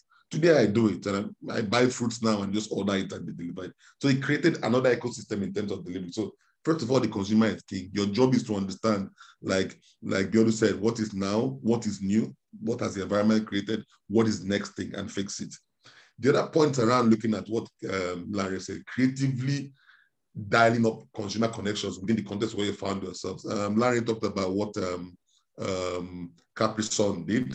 I've seen I saw a lot of ads doing strategically around even McDonald's. You know, you cannot, or in South Africa, I think Burger King had McDonald's had an issue, and Burger King said, um, I, I, can't remember, it's something about we're sorry about our partners, but we'll support them. Something around that that builds around saying, look, we're still in this together. It was a pawn, but it worked.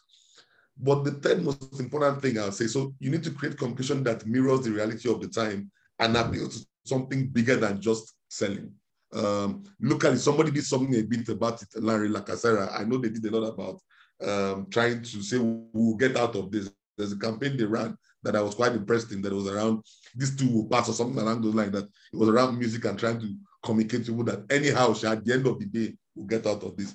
So playing into the fears of fears of people around you, but also telling them that look, we're with you through this. That's in communication. The last point, more importantly, is about flexibility. Is what COVID taught me is that look, the most intelligent marketing person will tell you knows what will happen in one year, two years, a lie.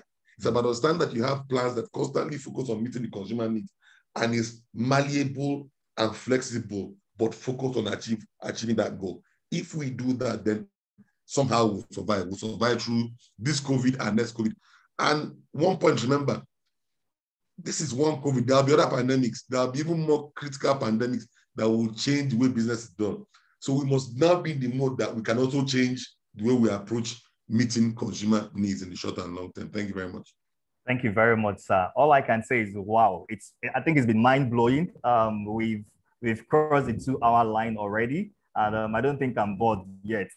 Uh, but I'd like to say a big thank you to all of our panelists. We have um, I'd like to just talk briefly about what we do at Sproxil, and then we also have a we have um, we'd like um, our participants to please take our poll just to give us feedback about this um, about this webinar. So quickly around what we do at Sproxil, we are a consumer engagement and um, brand engagement solutions company.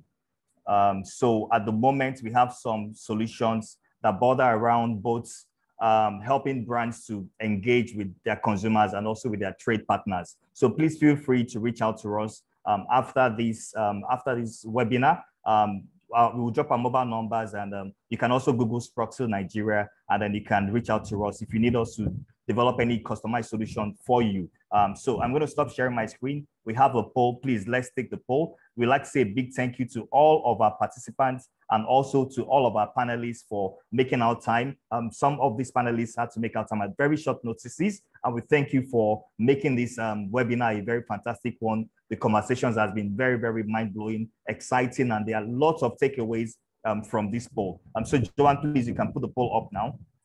And so everyone can just uh, provide the feedback. Thank you very much. I don't know if Chinedum would like to give a formal vote of thanks um, as we round up.